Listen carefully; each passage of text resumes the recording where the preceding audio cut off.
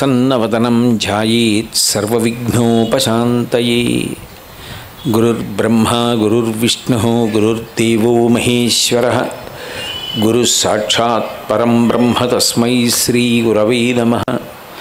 వ్యాసాయ విష్ణురూపాయ వ్యాసరూపాయ విష్ణవే. నమో వై బ్రహ్మీతి మధురం మధురాక్షరం. ఆరుహ్య కవితాశాఖాం వందే వాల్మీకి కోకిలం. శృతిస్మృతిపురాణానాం విరామం శ్రీరామం భూయో భూయో నమామ్యహం సభకి నమస్కారం మహత్తరమైన చరిత్ర సీతమ్మ కథ సీతమ్మ మహాపతివ్రత ఆమె సీతమ్మగా అవతార స్వీకారం చేసినప్పుడు కాదు అమ్మవారు ఎప్పుడూ కూడా ఆ పాతివ్రత్యాన్ని లోకానికి స్త్రీధర్మంగా నిరూపణం చేస్తూ ఉంటుంది. అందుకే మీరు చూడండి ఆవిడ ఏ అవతారంలో రానివ్వండి అట్లాగే ప్రవర్తిస్తుంది. అసలు ఆవిడ అవతార స్వీకారం చెయ్యకుండా కూడా అట్లాగే ప్రవర్తిస్తుంది. వామనమూర్తిగా వచ్చాడు భగవంతుడు ఒక పర్యాయం. వామనమూర్తిగా వచ్చినప్పుడు ఆయన బ్రహ్మచారి. బ్రహ్మచారిగా వచ్చినప్పుడు పక్కన భార్య ఉండే అవకాశం లేదు. కానీ వామనమూర్తి యొక్క పాదములు కడిగి మూడడుగుల నేల దానం చెయ్యాలన్న ఉద్దేశంతో బలిచక్రవర్తి వామనమూర్తిని ఆ పాదము చాచి పళ్ళెంలో పెట్టమని ప్రార్థన చేశాడు. రమ్మా మానవ కోత్తమ లెమ్మా నీ వాంఛితమ్ము లీదనకెత్తున్ చెమ్మ అడుగుల ఇటురా నిమ్మ కడుగంగవలయు నీటికి తడయన్నని పోతనగారు ఒక అద్భుతమైన విషయాన్ని వర్ణించారు. ఆ వింధ్యావళి బలిచక్రవర్తి యొక్క భార్య నీటి ధార విడిచిపెడుతుంటే బలిచక్రవర్తి వామనమూర్తి యొక్క పాదములు కడుగుతున్నప్పుడు బలిదైచేంద్రకరద్వయీకృత జల ప్రక్షాళన వ్యాప్తికిం జలజాతాక్షుడు సాచ యోగి సుమన సంప్రార్థిత శ్రీదమున్ కలితానమ్ర రమాలలాట పదవీ కస్తూరికాషాదమున్ నళినామోదము రత్ననూపురము నానావేదమున్ పాదమున్ అంటారు. బ్రహ్మచారి అయినటువంటి వామనమూర్తి యొక్క పాదం మీద శ్రీ మహాలక్ష్మి యొక్క నొసటన పెట్టుకునే కస్తూరి తిలకం గుండ్రటి బొట్టు యొక్క మచ్చ పడి ఉంది. అంటే ఆయన బ్రహ్మచారిగా ఉన్న ఆమె ఆయనను ఎన్నడూ విడిచిపెట్టదు నిత్యానపాయని. అందుకని ఆమె ఆయనకు నమస్కరించి ఉన్నది. ఉదయాన్నే ఆయనకి నమస్కరించింది అని చెప్పడానికి లక్ష్మీదేవి నొసట ఉండవలసినటువంటి ఆ కస్తూరి తిలకపు ముద్ర వామనమూర్తి యొక్క పాదం మీద కనపడింది. అంటే ఆ తల్లి ఎంతటి మహాపతివ్రతయో పతిని ఎంతగా అనుగమిస్తుందో మనకి అర్థమవుతుంది. అది లక్ష్మీదేవి కానీ కాదు సరస్వతీదేవి కానీ కాదు పార్వతీదేవి కానీ కాదు. ఉన్నది ఒక్కటే శక్తి కాబట్టి ఆ శక్తి ఏ రూపాన్ని తీసుకున్నప్పటికీ అట్లాగే ప్రవర్తిస్తుంది. సౌందర్యలహరిలో శంకరాచార్యుల వారు అమ్మవారి యొక్క అంగప్రత్యంగములన్నీ సున్నితముగా ఉన్నప్పటికీ మోకాళ్ళు మాత్రం చాలా గరుగ్గా ఉంటాయని వర్ణించారు. ఎందుచేత అంటే ఆ తల్లి నడిచి వస్తున్నప్పుడు మిగిలినటువంటి దిక్పాలురు దేవతలు అందరూ నేల మీద పడి తమ కిరీటములలో పదగబడిన మణుల యొక్క కాంతుల చేత ఆమె పాదములకు నీరాజనములు ఇస్తుంటే ఆమె మాత్రం భర్తగారు కనపడగానే మోకాళ్ళ మీద వంగి కిందకి తల ఉంచి నమస్కరిస్తుంటుంది. ఆ కారణం చేత అమ్మవారి మోకాళ్ళు గొరుగ్గా ఉంటాయని ఆమె ఇందరి నమస్కారములను అందుకున్న పతి పట్ల ఆమె మాత్రం అంత భక్తితో ఉండి స్త్రీ ధర్మాన్ని నిరూపణం చేస్తుందని శంకర భగవత్పాదులు. రాజన్మత్తమరాళమందగమనాం రాజీవ పత్రీక్షణాం రాజీవ ప్రభవాది దేవమకుటై రాజత్పదాంబూరుహాం రాజీవాయుతపత్రమండితకుచాం రాజాధిరాజేశ్వరీం శ్రీశైలస్థలవాసినీం భగవతీం శ్రీమాతరం భావయే అంటారు. అటువంటి తల్లి. ఆమె తన మనసు తన దగ్గర ఉన్నది కాదు. అసలు వివాహము అన్న మాటకు అర్థం ఏమిటంటే ఆయన మనసు ఆయన దగ్గర ఆవిడ మనసు ఆవిడ దగ్గర ఉంటే ఆ వివాహము ఫలవంతమైనట్లు కాదు. ఆయన మనసు ఆవిడ దగ్గరికి వెళ్ళాలి ఆవిడ మనసు ఆయన దగ్గర ఉండాలి. అంటే ఎప్పుడు ఆయన ఆమె గురించి ఆలోచించగలగాలి ఆమె ఆయన గురించి ఆలోచించగలగాలి. అప్పుడు వివాహం. అందుకే సుందరకాండలో శిశుపావృక్షం మీద కూర్చుని క్రింద ఉన్నటువంటి సీతమ్మ దర్శనం చేసిన హనుమ సీతమ్మ యొక్క గొప్పతనం గురించి చెప్తూ ఒక మాట అంటారు అస్యా దేవ్యా మనస్తస్మిన్ తస్య చాస్యాం ప్రతిష్ఠితం. తేనేయంసజి ధర్మాత్మా ముహూర్తమపి జీవతి అంటారు. సీతమ్మ మనసు సీతమ్మ దగ్గరే ఉండి రాముడి మనసు రాముడి దగ్గరే ఉండి ఉంటే నిజానికి వీళ్ళిద్దరూ ఒక్క క్షణం కూడా బ్రతికుండేవారు కాదు. కానీ రాముడి మనసు సీతమ్మ దగ్గర ఉంది సీతమ్మ మనసు రాముడి దగ్గర ఉంది అందుకే వీళ్ళిద్దరూ భౌతికంగా దూరంగా ఉన్నా ఇంత సంతోషంగా బ్రతకగలుగుతున్నారు. సంతోషంగా అంటే దాంపత్యమునందు ఏ విధమైన వైక్లభ్యం లేకుండా. అంత మంచి అవగాహనతో కూడుకున్నటువంటి దంపతులై జీవనాన్ని గడపగలుగుతున్న మత్తకాసినీం సీతాం వినా మహాబాహు ముహూర్తమపి జీవతి అంటారు. ఇంత పతివ్రత ఇంత ప్రేమ కలిగిన భార్య సీతమ్మని విడిచిపెట్టి అసలు రాముడు ఇంతకాలం బ్రతికున్నాడంటే రాముడి గుండె గుండె కాదు బండ. లేకపోతే ఎలా ఉండగలిగాడు ఇటువంటి ప్రేమైకమూర్తి అయిన భార్యని విడిచిపెట్టి రాముడు ఎలా జీవించగలిగాడన్నారు హనుమ? అంటే సీతమ్మ యొక్క దర్శనం చేయకముందు అంత శ్రీరామ భక్తుడైన హనుమ శ్రీ సీతమ్మ దర్శనం చేసిన తరువాత సీతమ్మ యొక్క వైభవం ఆమె పాతివ్రత్యానికి అంత మురిసిపోయారు. సీతమ్మ దేవకాంత అయినప్పటికీ అయోనిజ అయినప్పటికీ నరకాంతగా ప్రవర్తిస్తూ లోకంలో స్త్రీ ధర్మాన్ని ఆవిష్కరింపచేయడానికి పతివ్రతా ధర్మాన్ని పాటించి చూపించింది అని నిన్న నేను మీతో మనవి చేసి ఉన్నాను. ఆ తల్లి కష్టంలో ఉందా సుఖంలో ఉందా అన్నది మనం కావ్యం జరుగుతున్నప్పుడు ఆ పరిస్థితుల్ని బట్టి అనుకుంటూ ఉంటాం. సీతమ్మ చాలా కష్టంలో ఉందని. కానీ నిజానికి భౌతికంగా కష్టం ఉన్నా ఆమెకి రాముడు పక్కన ఉంటే చాలు. ఆ కష్టం గుర్తుకి రాదు. అంటే కష్టం ఉండదా అంటే ఉంటుంది. ఆ కష్టం మనసుని స్పృశించలేదు. మనసుని స్పృశించినదేదో అది పెద్ద కష్టం. నిలబడడానికి కావలసిన ఓదార్పు మీకు లభిస్తోందనుకోండి. ఆ ఓదార్పు లభించినంత కాలం ఎంత కష్టమైనా కానివ్వండి అది మీకు భరించడానికి యోగ్యమవుతుంది. ఎప్పుడైతే మీకు ఓదార్పు లభించకుండా పోయిందో అప్పుడు ఆ కష్టం మీరు భరించలేనిది. రామాయణంలో రామచంద్రమూర్తి కన్నా ఎక్కువ కష్టం ఎవరిది అంటే సీతమ్మదే. బహుశ పరదేవత అవతార స్వీకారం చేసిన తర్వాత అన్ని కష్టాలు పడడం అనేది ఒక్క రామాయణంలో సీతమ్మగా తప్ప. ఇక ఎక్కడా మీకు కనపడదు. అంత కష్టపడింది. ఎందుకనంటే కష్టపడడం అన్న మాట భౌతికమైన కష్టం ఒకెత్తు.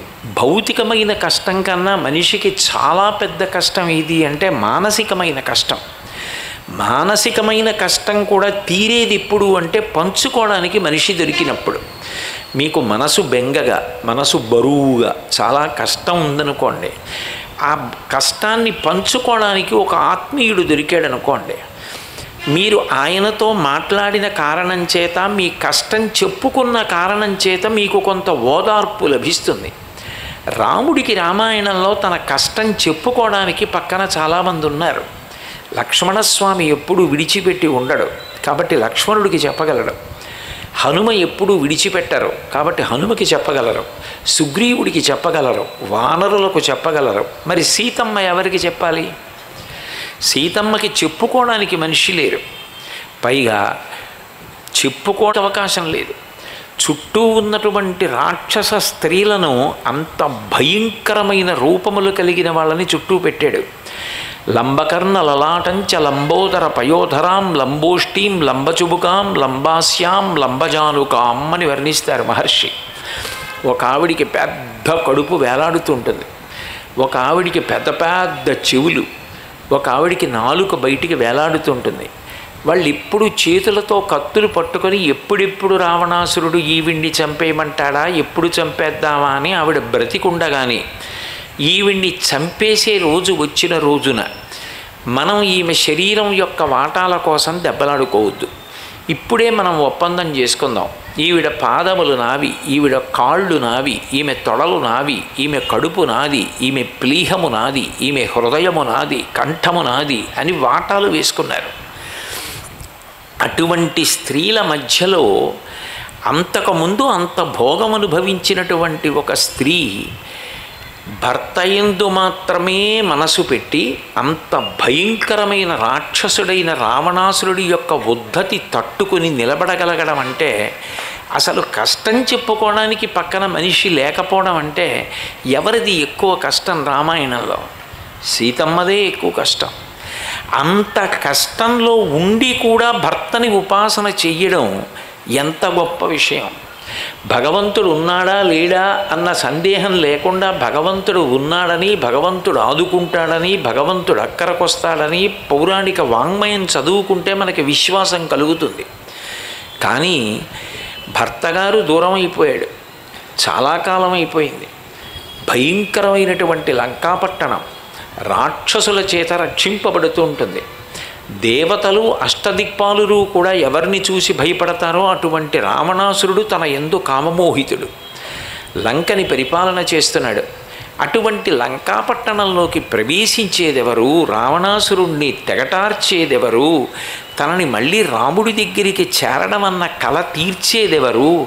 నిజంగా మనిషి నిరాశకి నిస్పృహకి బెంగతోటి కుంగిపోయేటటువంటి సమయం తప్ప ఆమె తన భర్త వస్తాడు రక్షిస్తాడు అన్న నమ్మకం విశ్వాసం రాముడి మీద అంత తిరుగులేని భక్తితో మనసులో మాత్రం ఎప్పుడూ విడిచిపెట్టకుండా రామధ్యానం చేస్తూ రాముడే నాకు రక్షకుడు.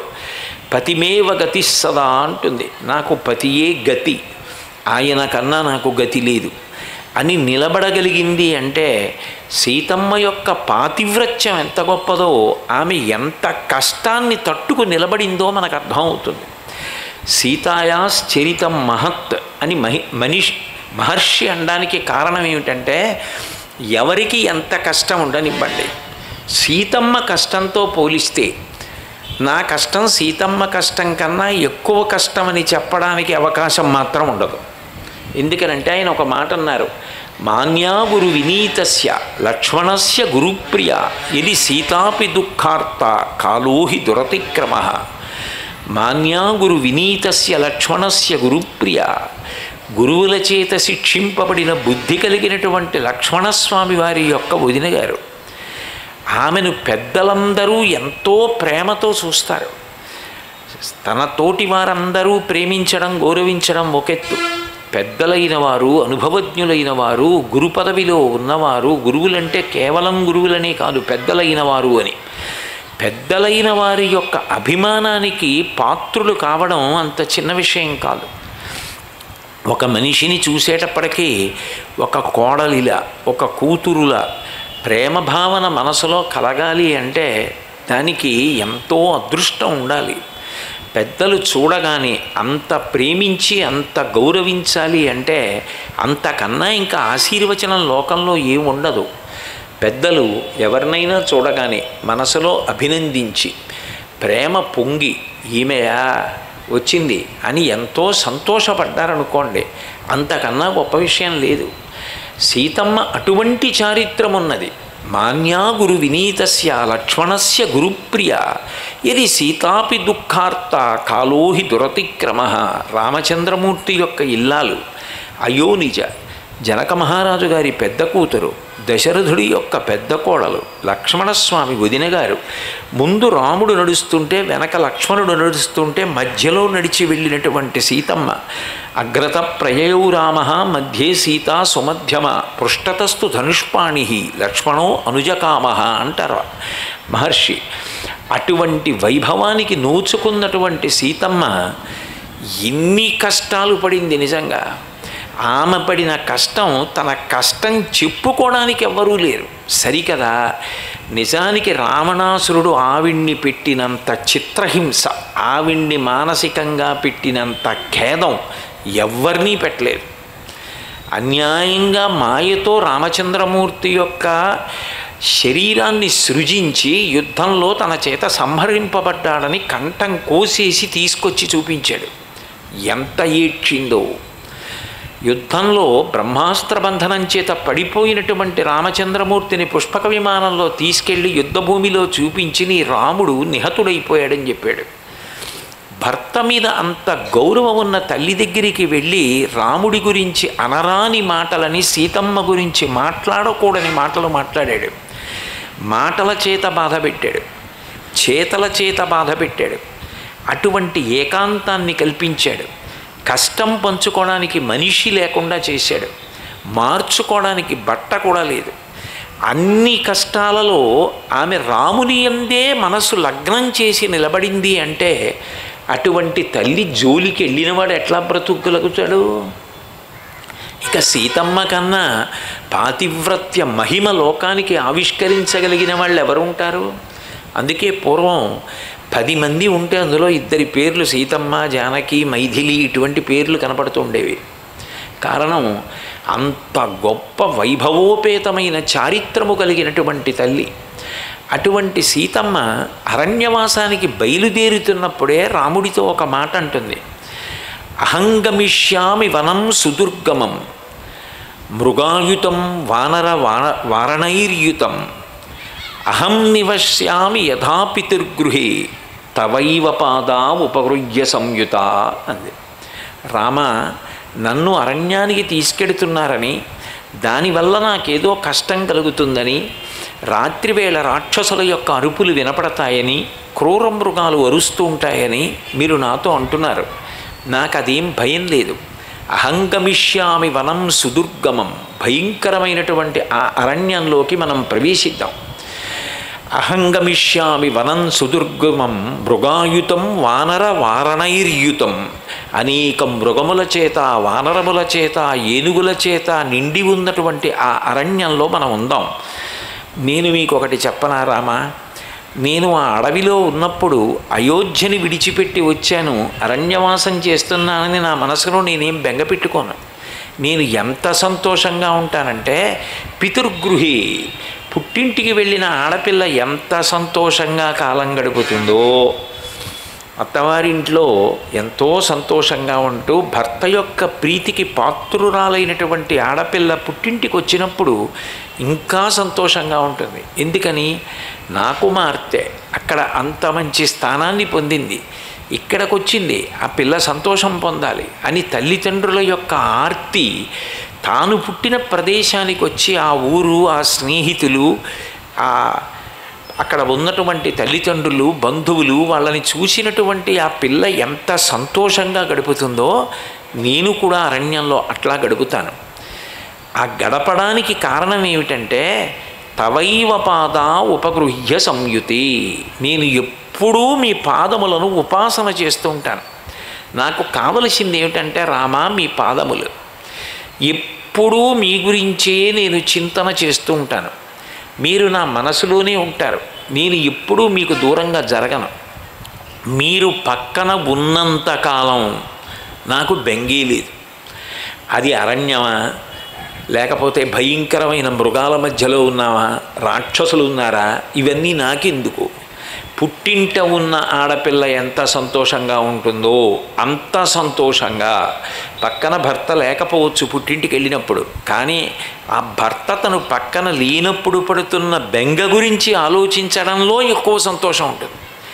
అట్లా సంతోషిస్తూ నేను అరణ్యంలో ఉంటాను. మీ పాదములను మాత్రం ఎప్పుడూ విస్మరించను. అది నాకు గొప్ప ఉపశాంతి. అంత గొప్ప సీతమ్మ నిజంగా అట్లా ఉండగలదా? అయోధ్యలో అంతఃపురంలో హంసతూలికా తల్పాల మీద పడుకున్న సీతమ్మ వీణ వాయిస్తుంటే శ్రావ్యమైనటువంటి శబ్దానికి మేల్కొన్న సీతమ్మ ఎంతోమంది చుట్టూ పరిచారికలు సేవిస్తుంటే సేవింపబడిన సీతమ్మ అంతమంది బంధువుల మధ్యలో అత్తలు మామగారి యొక్క ప్రేమతో జీవిస్తున్నటువంటి సీతమ్మ మరుదుల చేత అంత గౌరవింపబడినటువంటి సీతమ్మ ప్రజల చేత అంత పూజింపబడిన సీతమ్మ అంత పెద్ద కష్టం వచ్చి అరణ్యవాసానికి వెడితే ఆమె తట్టుకోగలదా? నోటితో అండం వేరు. నిజంగా అరణ్యవాసానికి వెళ్ళినప్పుడు ఆమె అట్లా ఉండగలదా? అంటే దీనికి తార్కాణం ఒక్కటే ఉంటుంది. మీరు ఎంత కష్టం ఉన్నా మనసు ప్రశాంతతను కొంచెం పొందినా కూడా నిద్రపడుతుంది. మీరు భౌతికంగా ఎన్ని సుఖాల మధ్యలో ఉండండి.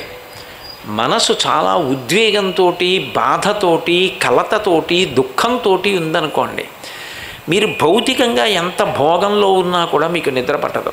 ఎంత మంచి మంచం మీద పడుకోండి ఎంత మంచి పరుపు మీద పడుకోండి నిద్ర పట్టదు. నిద్ర పట్టలేదు అంటే మనసు కలత చెందింది అని గుర్తు. లేదా శారీరకంగా ఏదో వ్యాధి పొటమరించింది అని గుర్తు. సీతమ్మ అరణ్యవాసానికి వెళ్ళినటువంటి రోజున గుహుడు తృణములను పరిచాడు. అంటే గడ్డి పరకలు వేసి పడుకోమన్నాడు. నేను భూమి మీదే పడుకుంటాను. మా నాన్నగారు నాకు అటువంటి నియమాన్ని విధించారు. అందుకని నాకు తల్పములు ఏర్పాటు చెయ్యొద్దు. నాకు మా అమ్మగారు నాన్నగారు జ్ఞాపకానికి వస్తున్నారు. ఇది మొదటి రాత్రి. నేను అరణ్యంలో పడుకోవడం.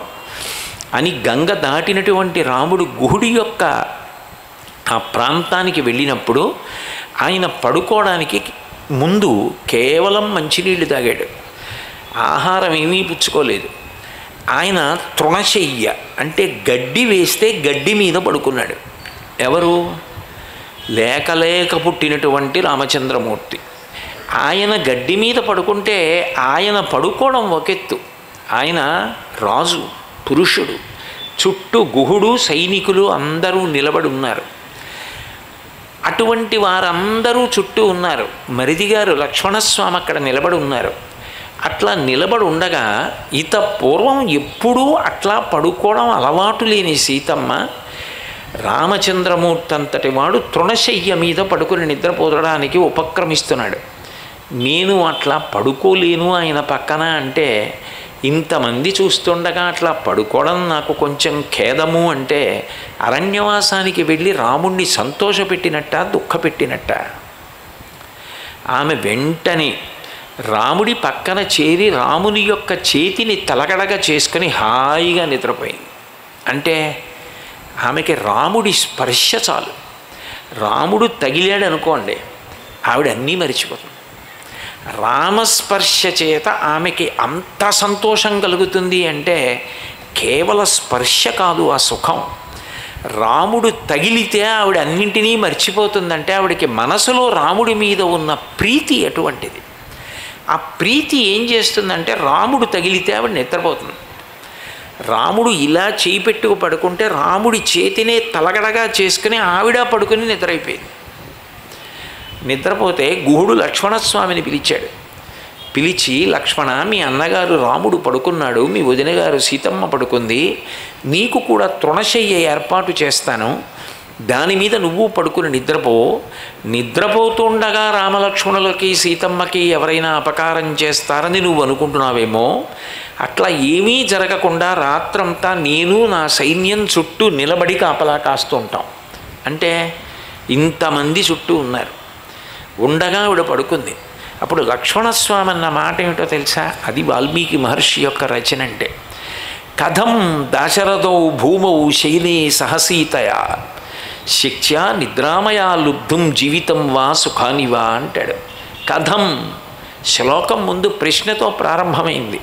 ఎట్లా? అని అడిగాడు. బాగా జ్వరంతో నూట నాలుగు జ్వరంతో బాధపడుతున్న వ్యక్తి ఏది తాగుదామన్నా వాంతి అయిపోతోంది ఏది తిందామన్నా వాంతి అయిపోతోంది. ప్రేమతో భార్యయో తల్లిదండ్రులో ఎవరో వచ్చి ఇట్లాగైతే నీరసపడిపోతావు శరీరం స్వస్థతని కోల్పోతుంది కొద్దిగా ఈ బత్తాయి రసం తాగు అన్నారు అనుకోండి ఆయన ముందనే మాట ఏమిటంటే ఎట్లా అంటాడు కడుపులో తిప్పేస్తుంటే ఇది ఇమర్చుకోలేకపోతుంటే ఎట్లా తాగను? అనడానికి ఎట్లా? అని అడుగుతాడు. అట్లా లక్ష్మణస్వామి తృణశయ్య మీద పడుకోమంటే కథం దాశరథౌ భూమౌ శయనే సహసీతయా?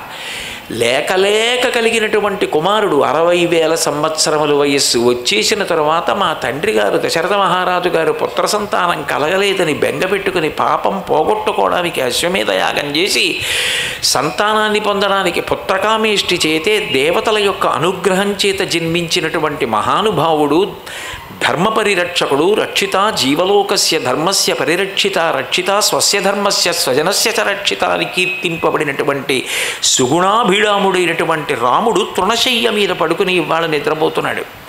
అది వదిలిపెట్టు. అటువంటి రాముడి పక్కన ఎండకన్నెరుగునటువంటి మా వదిన సీతమ్మ నిద్రపోతోంది. ఇంతమంది చూస్తూ ఉండగా ఇది చూశాక నాకు నిద్ర వస్తుందా? ఇంకా నేను నిద్రపోగలను నువ్వు అనుకుంటున్నావా? కథం దాశరథౌ భూమౌ శయనే సహసీతయ సీతమ్మతో కలిసి తృణశయ్య మీద పడుకున్న రామచంద్రమూర్తిని చూసిన తరువాత నేను నిద్రపోగలనా? భరతుడు గుండెలు బాదుకుని ఏడ్చాడు. తర్వాత అడవికి వచ్చి ఆ తృణశయ్య వంక చూశాడు. చూస్తే దానికి పట్టుచీర యొక్క దారములు చుట్టుకుని ఉన్నాయి ఆ గడ్డికి.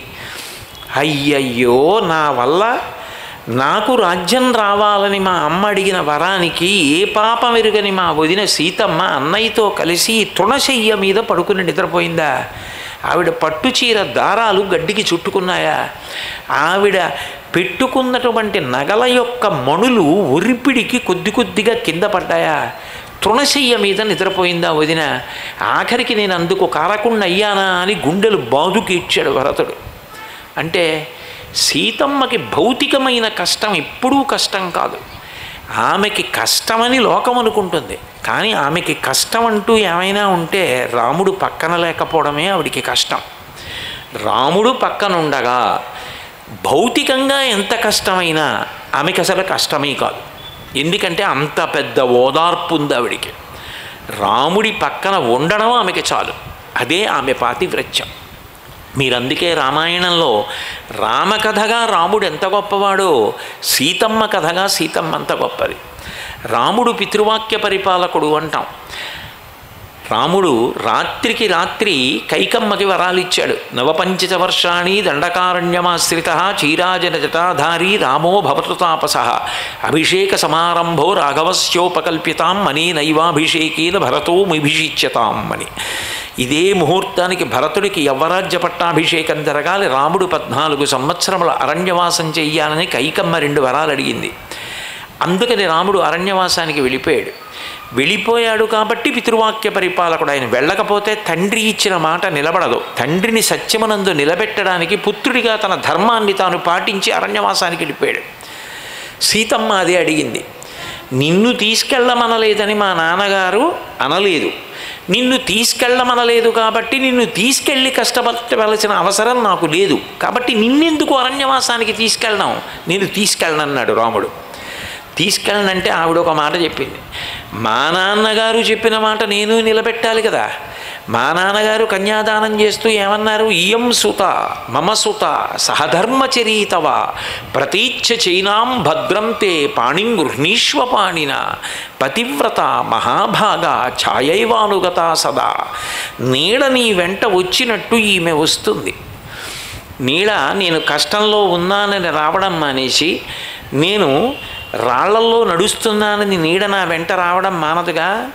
నేను ఎక్కడున్నా నా నీడ నన్ను విడిచిపెట్టకుండా నాతో ఉన్నట్టే రాముడి వెంట సీతమ్మ అట్లా ఉంటుందని మా నాన్నగారు చెప్పారు.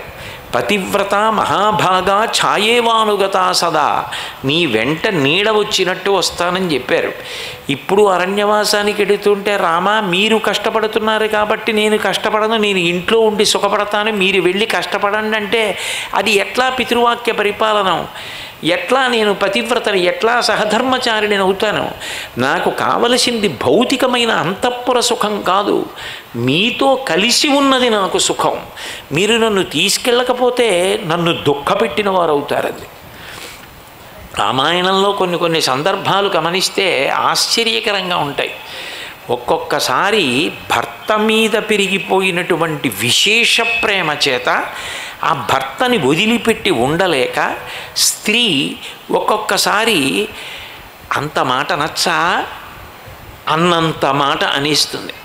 సీతమ్మ కూడా రాముణ్ణి అలాగే అంది అయోధ్యకాండలో కింత్వామన్యత వైదేహ పితామే మిథిలాధిప రామ జామాతరం ప్రాప్య స్త్రియం పురుష విగ్రహం అంది. రామ నన్ను అరణ్యవాసానికి తీసుకెళ్ళడానికి ఏనుగులు ఉంటాయి సింహాలు ఉంటాయి పెద్ద పులులు ఉంటాయి రాక్షసులు ఉంటారు ఏవేవో మృగాలు ఉంటాయి అని నువ్వు అదే పనిగా భయపడుతున్నావు. కానీ నిజానికి నువ్వు ఉండగా అవన్నీ నన్నేం చేస్తాయి?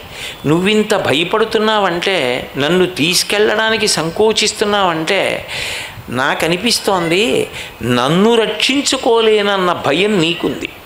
నిజానికి మా నాన్నగారు నేను స్త్రీనని ఈ సీతమ్మ స్త్రీ కాబట్టి వివాహంలో ఈమెని పురుషునికి ఇచ్చి కన్యాదానం చెయ్యాలి అన్న ఉద్దేశ్యంతో రాముడిని పురుషుడని నీకిచ్చి కన్యాదానం చేశారు. కానీ మా నాన్నగారికి ఒక విషయం తెలియదు నువ్వు నిజానికి వేషం కట్టినటువంటి స్త్రీవి పురుషుడిగా కనపడుతున్నావు. కానీ నిజానికి నువ్వు పురుషుడవు కావు. నువ్వు స్త్రీవి. అందుకే నీకంత భయంగా ఉంది అరణ్యవాసానికి నన్ను తీసుకెళ్ళడానికి. లేకపోతే నీకంత భయం ఎందుకు నన్ను తీసుకెళ్ళడానికి? కిం త్వాం అన్యత వైదేహ పితామే మిథిలాధిప రామ జామాతరం ప్రాప్య స్త్రియం పురుష విగ్రహం. స్త్రీని స్త్రీకి కన్యాదానం చేశాడా మా నాన్నగారు? అంది. ఈ శ్లోకం చదివినప్పుడు సీతమ్మ అంత మాట అండమా? అనిపిస్తుంది. అంత మాట అండమా అని కాదు ఆలోచించవలసింది. రాముణ్ణి విడిచిపెట్టి ఉండవలసి వస్తే అది తట్టుకోలేక ఆమె ఆ బాధని అంత బాగా వ్యక్తం చేసింది. అది అర్థం చేసుకోవలసిన వాడెవరు మీరు నేను కాదు. సీతమ్మ ఎలా మాట్లాడిందని చెప్పవలసింది మనం కాదు. నేను తీసుకెళ్ళను అంటే తట్టుకోలేక నన్ను వదిలిపెట్టి ఉండలేక ఇంత కోపంతో ఇలా మాట్లాడుతోందంటే ఈ పిచ్చి పిల్ల సీతమ్మ నన్ను వదిలిపెట్టి ఉండలేదు. ఈమెని తీసుకెళ్ళవలసిందే అని రాముడు అర్థం చేసుకున్నాడు. భార్యాభర్తల మధ్యకెళ్ళి తీర్పులు మనకెందుకు? రాముడు అర్థం చేసుకున్నాడా లేదా అన్నది ప్రధానం. వెంటనే సీతమ్మ బట్టలు సద్దు నాతో పాటు వచ్చేయి. వెడదాం అరణ్యవాసానికి అన్నాడు. అంటే ఆమెకి రాముడితో కలిసి వెళ్ళడం రాముడి సుఖం కన్నా తనకి సుఖం అన్నది వేరే లేదు. అంత గొప్ప సీతమ్మ. అందుకే అటువంటి పతివ్రతని అపహరించిన కారణం చేత రావణాసురుడు తన మృత్యువుని తాను వండుకున్నాడు. తగినంత పాపం లేకుండా భగవంతుడు మాత్రం ఎలా పరిమారుస్తాడు? ఏ రావణాసురుడి యొక్క తపస్సు సామాన్యమైనటువంటి తపస్సు కాదు. రోమ కూపాలలోంచి నిద్రపోతూ ఉండగా వస్తున్నటువంటి ఆ తపశ్శక్తి యొక్క తేజస్సు చూసి హనుమ అంతటి వారు ఆశ్చర్యపోయారు. ఆ సింహాసనం మీద కూర్చునుంటే రావణాసురుణ్ణి చూసి అహోరూప మహోధైర్య మహోసత్వ మహోద్యుతి అహో రాక్షసరాజస్య సర్వలక్షణయుక్తత అన్నారు. ఏమి ద్యుతి ఏమి కాంతి ఏమి తేజస్సు వీడి ఎందు పరదారాపహరణము అనేటటువంటి దోషమే లేకపోతే మూడు లోకములను శాసించగలిగిన వాడన్నారు అంతటి తపశ్శక్తి కలిగినవాడు. అంత తపశ్శక్తి కలిగిన వాడిని నిర్జించడం అంటే అంత తేలిక విషయం కాదు. ఇంత తేజస్సు ఇంత తపశ్శక్తి దేని చేత క్షీణించిపోతాయో అంత పెద్ద పాపం జరగాలి. అంటే అంతటి మహాపతివ్రత జోలికి వెళ్ళాలి. అంతటి మహాపతివ్రత జోలికి వెడితే ఆమె మనసు ఖేదపడితే ఆమె బాధపడితే ఆ బాధ రావణాసురుడు మరణించడానికి కారణమవుతుంది. అందుకొచ్చింది సీతమ్మగా నరులందరూ సంతోషంగా ఉండాలని తానెంత బాధపడినా మనందరి కోసమని రావణ సంహారం జరగాలని మనిషి కీర్తి ప్రతిష్టలు నిలబెట్టాలని రాముడు ఎంత ప్రయత్నించాడో అంత ప్రయత్నానికి నిజానికి యథార్థంగా సహకరించి రావణుడు మరణించడానికి సిద్ధం చేసి ఉండి ఉంచినటువంటిది ఎవరంటే సీతమ్మ. ఇది మీకు సుందరకాండ చదివితే ఒక అద్భుతమైనటువంటి విశేషం కనపడుతుంది. హనుమ సీతమ్మ దర్శనం కోసమని చాలా పరిశ్రమ చేసి చిట్ట చివరికి సీతమ్మ దర్శనం చేశారు. తెల్లవారుజాము సమయం. శిశుపావృక్షం కొమ్మల మీద కూర్చుని ఉన్నారు. కిందకి చూస్తున్నారు. శిశుపావృక్షం కింద సీతమ్మ కనపడింది. ఆ కనపడిన సీతమ్మని వర్ణించేటప్పుడు అంటే హనుమ కళ్ళల్లోంచి సీతమ్మని వర్ణించేటప్పుడు మహర్షి కొన్ని ఉపమానాలు ప్రయోగించారు. అవి బయట ఎక్కడా కూడా మీరు చూస్తానంటే దొరికేటటువంటి వస్తువులు కావు. ఉపమానం ప్రయోగం చేశారనుకోండి చంద్రుడంత కాంతివంతంగా ఉంది.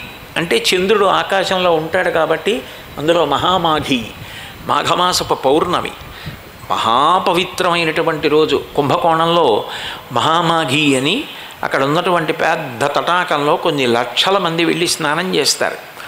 అంత గొప్ప రోజు అంత పవిత్రమైన రోజు రేపు. ఇప్పుడు పౌర్ణమి ప్రకాశిస్తోంది అదిగో పౌర్ణమి చంద్రుడు మహామాఘి.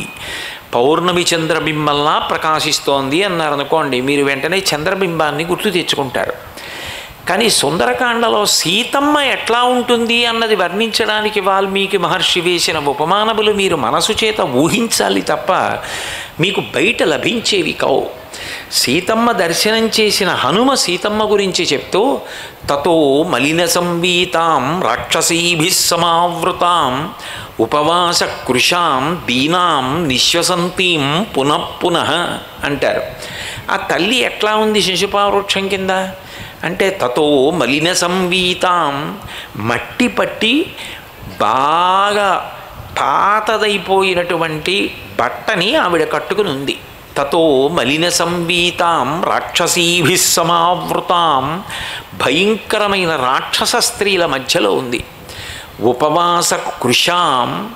ఆమె ఉపవాసం చేస్తోంది. అంటే ఆమె ఏమీ తింటలేదు. మనసులో మాత్రం ఉపవాస రాముణ్ణే ధ్యానం చేస్తోంది. అంతటి రామధ్యానపరాయణ. ఉపవాస కృషాం కృషించిపోయింది. దీనాం. ఏమిటి ఆవిడ దైన్యం? ఆవిడెవరు? లక్ష్మీదేవి. అటువంటి ఆవిడ దీనాం ఎందుకు దైన్యం. అంటే రాముడితో నేను మనసులో కలిసి ఉన్నాను. కానీ కోరిక ఏమిటి? ఆ రాముడి పక్కన ఉండాలి. నాకు రాముడు కనపడాలి. నేను రాముడితో ఉండాలి. నేను రాముడికి వండి పెట్టాలి. రాముడికి వడ్డించాలి. రాముడితో కలిసి పడుకోవాలి. రాముడికి ఏం కావాలో అవన్నీ నేను చెయ్యాలి. నేను ఆయన ధర్మపత్నిని. నేను ఆయనకి చెయ్యలేకపోతే ఆయన నా పక్కన లేకపోతే నేను తట్టుకోలేను. అందుకని ఆమె దైన్యంతో ఉంది. ఉపవాస కృషాం దీనాం నిశ్వసంతీం. మళ్ళీ మళ్ళీ మళ్ళీ మళ్ళీ నిట్టూర్పులు విడిస్తోంది. ఎందుకు ఆ నిట్టూర్పు? అంటే ఇంతకాలం అయిపోయింది రాముడు రాలేదు. అంతటి ధనుర్విద్యాపారంగతుడు. నిజంగా రాముడు నన్ను పొందాలి అనుకుంటే రాముడు రాలేడా? ఎందుకు విలంబనం జరుగుతోంది? ఎందుకు రాముడు రాలేదు? అది ఆవిడ బాధ. అందుకని విశ్వసంతీం పునఃపున మళ్ళీ మళ్ళీ మళ్ళీ మళ్ళీ నిట్టూర్పులు విడిచిపెడుతోంది. ఈ శ్లోకం మీరు చదివారనుకోండి సుందరకాండలో మీరు ఈ శ్లోకం చదివినప్పుడు సీతమ్మ ఎలా ఉందో మీకు అర్థమవుతుంది. మీరు ఇదే శ్లోకాన్ని ఇంకొక కోణంలో పరిశీలించండి. రావణాసురుడు మరణించడానికి కావలసిన పాపాన్ని వండుకుంటున్నాడని అర్థం అవుతుంది ఎందుకని? తతో మలిన సంవీతాం. ఆమె మట్టి పట్టి నలిగిపోయినటువంటి బట్ట కట్టుకుని ఉంది. ఎవరావిడ?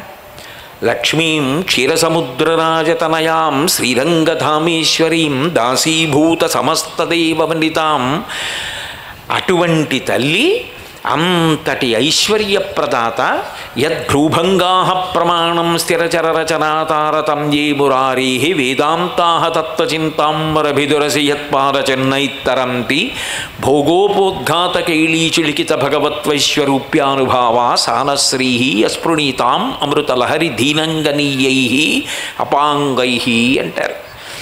ఆమె యొక్క కనుబొమ కదలిక చేత ఐశ్వర్యం కలుగుతుంది. బ్రహ్మగారు ఒక కొత్త జన్మని ఇచ్చేటప్పుడు ఆ ప్రాణి యొక్క పుర్రె చేతిలో పట్టుకుని ఐశ్వర్యాన్ని వ్రాసేటప్పుడు తల్లి లక్ష్మీదేవి వంక చూస్తాట. అమ్మ ఈ పుర్రె గత జన్మలో ఫలానా వారిది. ఎంత ఐశ్వర్యం ఇమ్మంటావు? అని. ఆవిడ విని ఊరుకుందనుకోండి. సామాన్యుడు దరిద్రుడు అని రాసి పంపిస్తాట. ఆ పేరు వినగానే వాడా అప్ప ఎంత చేసినవాడురా? ఎంత త్యాగమూర్తి ఎంతటి భక్తుడు ఎన్ని ఉపకారాలు చేశాడు అని అమ్మవారు కనుబొమ పైకెత్తిందనుకోండి యద్భ్రూభంగా ప్రమాణం స్థిరచరరచన తరతమ్యే మురారీ అంతటి మహదైశ్వర్యవంతుడాయన అని పేరు రావడానికి కారణం అది. ఆ పుర్రె బ్రహ్మగారి చేత్తో పట్టుకుని ఐశ్వర్యం అని రాస్తున్నప్పుడు లక్ష్మీదేవి కనుబమ కదిలింది ఇంతటి ఐశ్వర్యవంతుడయ్యాడు.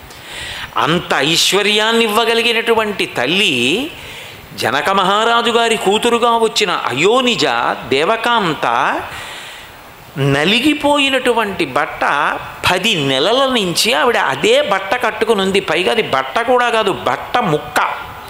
ఎందుకని? వస్త్ర ఖండాన్ని కట్టుకోకూడదు. ఆఖరికి హోమం చేస్తున్నా నిరుసు లేచి బట్ట మీద పడి కన్నం పడింది అనుకోండి వెంటనే అక్కడ పసుపు పెట్టుకుంటారు. లేచి మధ్యలో బట్ట కట్టుకు రావడం కుదరదు కాబట్టి. ఆవిడ బట్టలో ముక్క చింపి అందులో నగలు మూట కట్టి కింద పడేసింది కిష్కిందలో సీతాపహరణం జరుగుతున్నప్పుడు అందుకని బట్ట ముక్కే ఆవిడ కట్టుకుంది.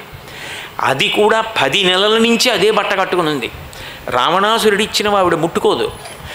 ఇంతటి గొప్ప తల్లి ఒక్క బట్టతో ఉండిపోయింది. ఇది ఎవరిని కట్టి కుడుపుతుంది? ఈవిడ ఏడుపు ఎవరిని చంపేస్తుంది? ఇంతటి మహాపతివ్రత బాధ ఎవరి మృత్యువుకి కారణం అవుతుంది ఎవరు ఆ బాధకి కారకుడో వాడే మరణించాలి. కాబట్టి ఇప్పుడు మహర్షి ఏం చెప్తున్నట్టు? ఈమె ఇలా ఉండడం ఆయన మరణించడానికి కారణం తయారవుతోంది. అంటే ఇంత కష్టం ఈవిడ పొందుతోంది కాబట్టి మరణించడానికి సిద్ధపడుతున్నాడు. తతో మలిన సంవీతాం రాక్షసీభిస్సమావృతాం కట్టుకోవడానికి సరైన బట్టలేని స్థితి పరదేవతకి కలగడం అంటే ఆవిడ తలుచుకుంటే కట్టుకోలేదా? ఆ స్థితిని భౌతికంగా అప్పుడు కల్పించినవాడు రావణుడు. ఇది పైకి శారీరకంగా కష్టం. మానసికంగా అంతటి అందగాడు మహానుభావుడు పుంసాం మోహనరూపాయ పుణ్యశ్లోకాయ మంగళం. ఎవరిని చూసేటప్పటికి పురుషులు కూడా మోహిస్తారో అంతటి ఆజానుబాహు అరవింద దాయతాక్షం రామం నిశాచర వినాశకరం నమామి. అటువంటి రామచంద్రమూర్తి ఇల్లాలయ్యుండి ఆయన దర్శనం లేకుండా ఈ రాక్షస స్త్రీల దర్శనం ఏమిటి ఆవిడికి? వాళ్ళని చుట్టూ పెట్టాడు. మానసికంగా ఎంత కష్టం? ఆవిడ ఎలా బ్రతుకుదాం అనుకుందో అట్లా బ్రతకనివ్వడు. నేను బ్రతకలేను చచ్చిపోతానంటే చనిపోనివ్వడు. ఇంతమందిని కాపలా పెట్టాడు. ఇప్పుడు భౌతికంగా మానసికంగా కూడా ఈ కష్టాన్ని కల్పించిన వాడు ఏమవుతాడు? దిక్కులేని చావు చచ్చిపోతాడు. అంతమంది ముందు పది తలలు తెగిపోయి నేల మీద పడిపోతాడు. దానికి పాపం ఒడ్డుకుంటున్నాడు. ఇప్పుడు మీరు ఆలోచించండి రాముడు బాణం వేసి రావణాసురుణ్ణి సంహరించడానికి రావణాసురుడు ఎంత పాపం చేస్తే పడిపోయాడు? అంత తేజస్సు కూడా పోయి పడిపోయాడు అంటే అంత తేజస్సు పోయినా అంత యుద్ధం చేయగలిగాడంటే ఆయన ఎందు పాపమే లేకపోతే సీతమ్మని చెరబట్టకపోతే అసలు రావణుండి చంపడం అంత తేలిక? తతో మలిన సంవీతాం రాక్షసీభిः సమావృతాం ఉపవాస కృషాం దీనాం నిశ్వసంతీం పునఃపున అందులో ఆమె ఉపవసిస్తోంది. ఉపవసించడం అంటే మనసులో అదే పనిగా రాముణ్ణి ధ్యానం చేస్తోంది. అంత గొప్ప ధ్యాన స్థితిలో ఉండగా రాముణ్ణే ఆమె మనసులో చూస్తూ ఉండగా ఆమెకి రాముడు తప్ప ఏదీ కనపడని స్థితిలో ఆమె పట్ల చేస్తున్నటువంటి అపచారం మరింత తీవ్రమైన ఫలితాన్ని ఇస్తుంది. ఆమెకి దైన్యం కలగడం ఏమిటి? అంటే నిజానికి ఇంటికి ఒక స్త్రీ వచ్చిందనుకోండి ఒక ఇల్లాలు వచ్చిందనుకోండి గృహలక్ష్మి గృహే గృహే. ఇంద్రుడు లక్ష్మీదేవిని స్తోత్రం చేశాడు.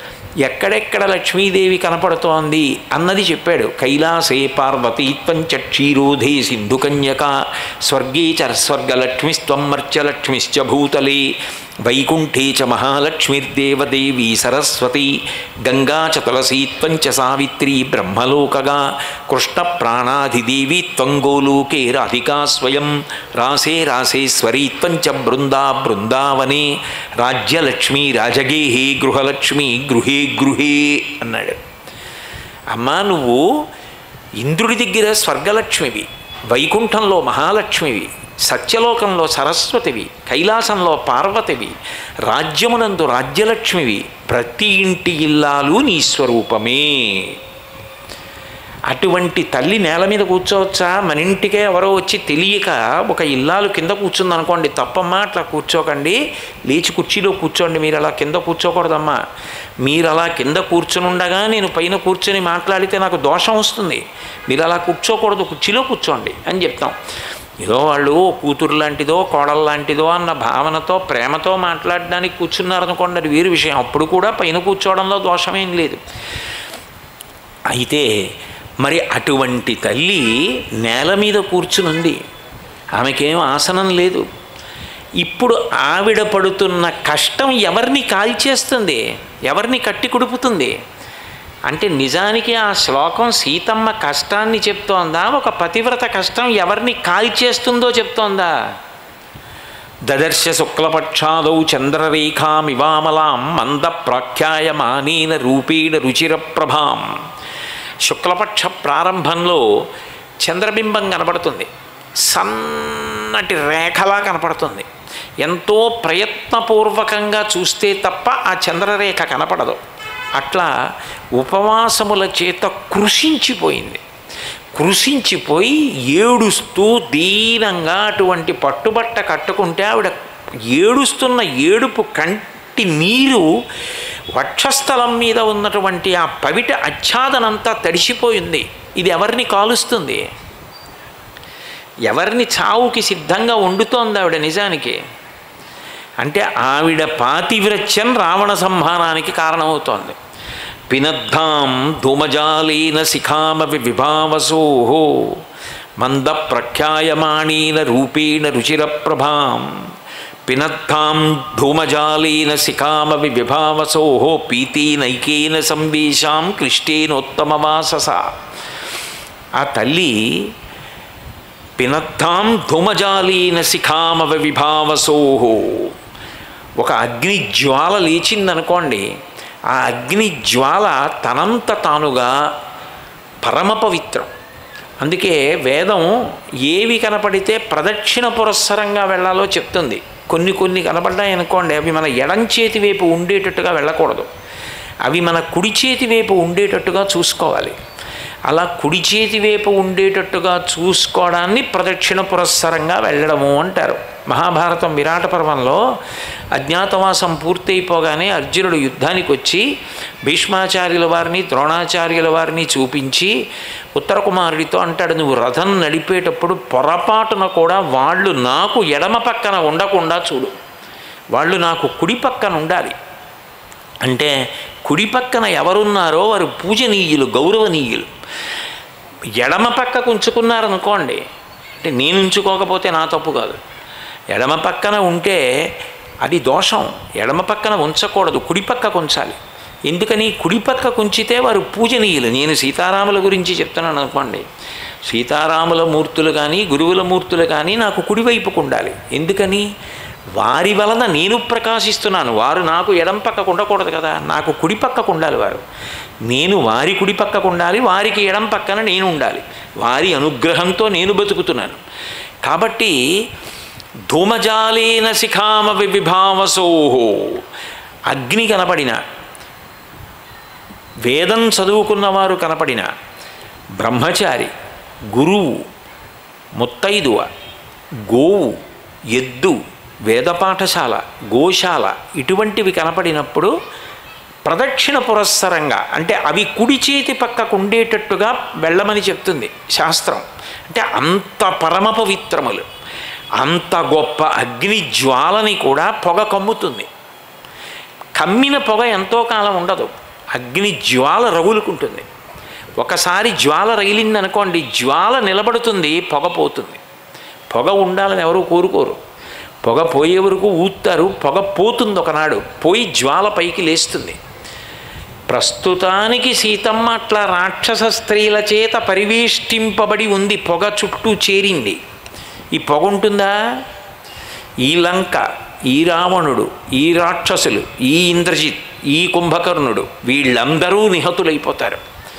అగ్ని జ్వాలల మహాపతివ్రతయ్యి ఆమె ప్రకాశిస్తుంది. ఇది చెప్పడానికి రావణ మరణానికి పతివ్రతగా ఆమె కష్టపడడం కారణమవుతోందని చెప్పడానికి పినద్దాం ధుమజాలీన శిఖామ విభావసోహో పీతీనైకీన సంవీతాం క్లిష్టీనోత్తమవాసస వ్రీడితాం దుఃఖసంతప్తాం పరిమ్లానాం తపస్వినీం గ్రహాణాంగారకీణీవ పీడితామివ రోహిణీం అంటారు మహర్షి. వ్రీడితాం. లోకంలో ఒక తల్లి కొడుకుని చూసి సిగ్గుపడవలసిన పరిస్థితి వచ్చిందనుకోండి ఆ కొడుక్కి అంతకన్నా చావు ఇంకొకటి ఉండదు. ఒక తల్లి కొడుకుని చూసి ఎప్పుడు సిగ్గుపడుతుంది? కొడుకు తల్లిని చూడకూడని చూపు చూశాడనుకోండి ఆ తల్లి పడే బాధ ఆ తల్లి మనసులో కలిగే అంత ఖేదం ఎంత సిగ్గుపడుతుంది ఇటువంటి కొడుక పుట్టాడు అని ఎంత బాధపడుతుంది? వ్రీడితాం సీతమ్మంత దుఃఖంతో ఉందంత సిగ్గుపడుతోంది. ఎందుకు? ఒక్క విష్ణువు తప్ప మిగిలిన వాళ్ళందరూ ఆమెకి పుత్ర సదృశులు. సౌందర్యలహరిలో శంకరాచార్యులు వారు అంటారు శివే శృంగారార్ద్ర తదితరజనే కుచ్చనపరా సరోష గంగాయాం గిరిశచరితే విస్మయవతి. హరాహిభ్యోభీత సరసిరుహ సౌభాగ్యజననీం సఖీషు స్మేరాతే మయి జనని దృష్టిస్స కరుణ అంటారు. శివే శృంగారార్ధ్ర శివుడు కనపడేటప్పటికీ ఆమె కళ్ళల్లో శృంగార రసం కనపడుతుంది. తదితర జని కుత్సనపర శివుడు తప్ప మిగిలిన వాళ్ళు ఎవరైనా నేను పురుషుణ్ణన్న భావనతో నిలబడితే ఆమె కళ్ళల్లో రౌద్రరసం కనపడుతుంది. అమ్మా నీ కొడుకుని అని నిలబడితే ఆమె కళ్ళల్లో ప్రేమ కనపడుతుంది. నేను పురుషుణ్ణన్న భావనతో రావణుడు నిలబడి ఉన్నాడు తల్లి ముందు జగజ్జనని ముందు. అందుకు సిగ్గుపడుతోంది ఆవిడ ఒక తల్లి సిగ్గుపడేలా ప్రవర్తించిన కొడుకు ఎలా వృద్ధిలోకి వస్తాడు? వ్రీడితాం దుఃఖ సంతప్తాం అమ్మని అంత ఏడిపించినవాడు ఒక మహాపతివ్రత తన ఇంట్లో అంత ఏడుస్తుంటే తను ఎంత భోగభాగ్యాలుంటే ఎంత కాంచనాలనుకుంటే అవన్నీ నిలబడతాయా? అందుకే అన్నాడు మారీచుడు అరణ్యకాండలో స్వామినా ప్రతికూలేన ప్రజా తీక్ష్ణేన రావణ రక్షమానా నవర్ధంతే కోశ మేష మేషా గోమాయునాయధ అన్నాడు. రావణ నీలాంటి వాడు రాజు అయితే ఆ రాజ్యము కానీ ఆ ప్రజలు కానీ సుఖపడరు. ఎందుకని? గొర్రెల మంద వెడుతున్నప్పుడు తోడేలు ఎటువైపు నుంచైనా వచ్చి గొర్రెల్ని తినేస్తుందేమో అని గొర్రెల్ని కాపాడడానికి వెనకనున్న వ్యక్తి ఎంతో అప్రమత్తంగా ఉంటాడు. అటువంటిది ఒక తోడేలే గో గొర్రెల్ని కాపాడడానికి వెనక బయలుదేరితే ఇక కొత్తగా ఏమీ అక్కర్లేదు అదే తినేస్తుంది గొర్రెల్ని. అట్లా రాజువయ్యుండి నువ్వే ధర్మాన్ని పాటించకపోతే నువ్వే లంకనాశనానికి కారణమైపోతావు అన్నాడు. సీతమ్మని అపహరించడం చిట్ట చివరికి నీ మరణానికి లంక నాశనానికి కారణమవుతుంది. నువ్వు పతివ్రతని బాధ పెట్టినటువంటి స్థితి కట్టి కుడుపుతుంది నిన్ను. నిష్కారణంగా పెడుతున్నావు పతివ్రత జోలికి పద్మపురాణంలో అగ్నిపురాణంలో వాటిల్లో చెప్తారు. అన్నిటికన్నా చాలా జాగ్రత్తగా ఉండవలసింది ఎవరి చేతి ఎవరి విషయంలో అంటే దేవతలు కూడా జాగరూకులయ్యి ఉంటారట. పతివ్రత ధర్మాన్ని పాటించేటటువంటి వారి జోలికి వెళ్ళడానికి వీల్లేదు. వాళ్ళ సంతోషం అంత అభివృద్ధి కారకం. వాళ్ళ బాధ సవం సమూలకంగా నాశనం చేసేస్తుంది. కాబట్టి వ్రీళితాం వ్రీడితాం దుఃఖసంతప్తాం పరిమ్లానాం. వాడిపోయినటువంటి తామర పువ్వు ఎలా ఉంటుందో ఆమె అలా ముకిలించుకుపోయింది అంటే అంత బాధతో ఉంది. తపస్విని శుష్కించిపోయి ఆమె మనసు లోపల మాత్రం అంత రామధ్యానం చేస్తోంది. ఇది మరీ ప్రమాదం. అటువంటి ధ్యానమూర్తి జోలికెడుతున్నాడు. తపస్వినీం గ్రహాణ అంగారకైణేవ పీడితామివ రోహిణీం. చంద్రుడి యొక్క స్వస్థానం రోహిణి.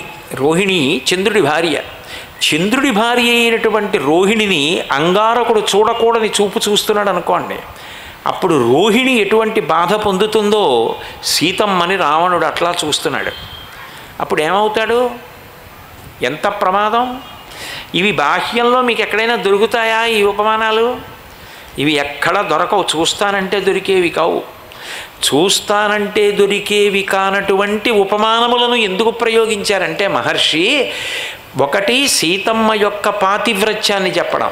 రెండు అంత మహాపతివ్రత ఉన్న స్థితి దానికి కారకుడైన వాడు బ్రతకడు సుమా. ఆయన ఎంత గొప్పవాడైనా బ్రతికే అవకాశం లేదు. తన మృత్యువును తాను పొందుకుంటున్నాడు. ఇదే హనుమ తీర్పు చెప్పారు చిట్ట చివర. తదేవ ఫలమన్వేతి ధర్మస్య ధర్మనాశన ప్రాప్తం ధర్మఫలం తామద్భవతానాత్ర సంశయ. ఒక్కొక్కసారి పాపము పుణ్యము రెండిటినీ అనుభవించేస్తాడు మనిషి. పాప ఫలితం రోగంగా ఉంటుంది. పుణ్య ఫలితం తను చేయవలసిన పని చేసేస్తూ ఉంటాడు. ఆ రోగం ఆయన్ని ఏం బాధ పెట్టదు. రోగం రోగంగా ఉంటుంది. ఆ రోగం వల్ల బాధ ఏమిటి అంటే కొన్ని భోగాలు వదిలేస్తాడు. ఏదో మధుమేహం ఉంది. ఆయన మధుర పదార్థాన్ని తినడు. ఎన్ని తిన్నాను? చాలా తిన్నాను జీవితంలో. అది పెట్టాడు కాబట్టి భగవంతుడు పరమ సంతోషంగా మిగలబుగ్గిన ఫలాలు ఎవరైనా ఇస్తే ఇంకోళ్ళకి ఇవ్వగలుగుతున్నాను. లేకపోతే నేనే తినేద్దును. అని పరమ సంతోషంగా ఇప్పుడు పళ్ళు ఇచ్చేస్తున్నాడు. తప్ప ఆయనకి ఏ బెంగా లేదు. అదొక్కటి లేదేమో కానీ ఆయన శరీరంతో చెయ్యవలసిన మంచి పనులన్నీ చేసుకుంటూ వెళ్ళిపోతున్నాడంటే పాపపుణ్యములను ఏకకాలంలో అనుభవించేస్తున్నాడు. ఈశ్వర కృప ఉంది.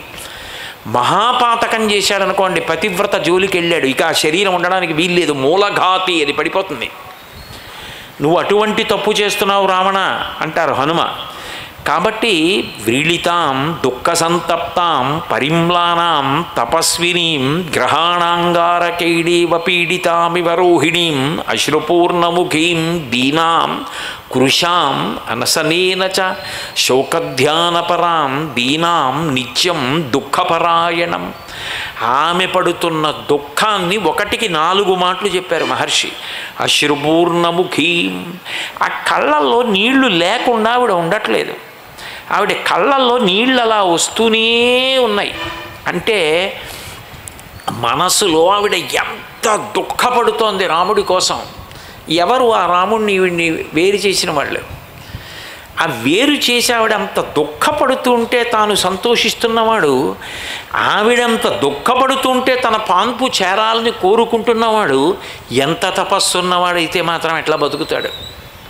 అంటే నిజానికి ఆవిడ ఇప్పుడు ఏం చేస్తోంది? ఆయన మృత్యువుని వండి ఆయనకి తినిపిస్తోంది. మహాపతివ్రతగా సీతమ్మ అక్కడ ఉండడమే రావణ మరణానికి కారణమైపోయింది. అశ్రుపూర్ణముఖీం ఆ కంటి బిందువు కంటి నుంచి వచ్చినటువంటి శోక బిందు ఉందే ఒక మహాపతివ్రత కంటి వెంట కారినటువంటి నీటి చుక్క ఎక్కడ పడిందో అక్కడ ఐశ్వర్యం సమూలకంగా నశించిపోతుంది. ఒక స్త్రీ పతివ్రత నిష్కారణంగా ఏడిచేటట్టుగా ఆమె బాధపడేటట్టుగా మనం కారణం కాకుండా జాగ్రత్త పడాలి. అందుకే హనుమ ఈ లోకానికి చేసిన మహోపకారాన్ని చెప్తారు. ఉల్లంఘ్య సింధో సలిలం సలీలం యశోకవన్నింజనకాత్మజాయా ఆదాయతేనైవ తదాహలంకాం నమామితం ప్రాంజలిరంజనీయం. నిజానికి అంతటి మహాతల్లి జగన్మాత ఆ తల్లి కంటి నుంచి జారినటువంటి నీటి బిందువు ఈ భూమి మీద పడింది కాబట్టి ఈ భూమి భూమి అంతా నశించిపోవాలి. అట్లా ఎందుకు నశించిపోవాలి? కారకుడు రావణాసురుడు కాబట్టి రావణాసురుడి లంకని కాల్చేస్తానని చెప్పి ఆమె యొక్క కంటి నిండి పడినటువంటి బాష్ప బిందువన్న అగ్నిహోత్రాన్ని తీసి మళ్ళీ లంకలోనే పెట్టి లంకని కాల్చి భూమిని కాపాడారు హనుమ అన్నారు. అందుకని ఉల్లంఘ్య సింధో సలిలం సలీలం యశోకవన్నిం జనకాత్మజాయా. ఆదాయతైవనైవ దదాహలంకాం నమామితం ప్రాంజలిరంజనీయం అది సీతాయాశ్చరితం మహత్.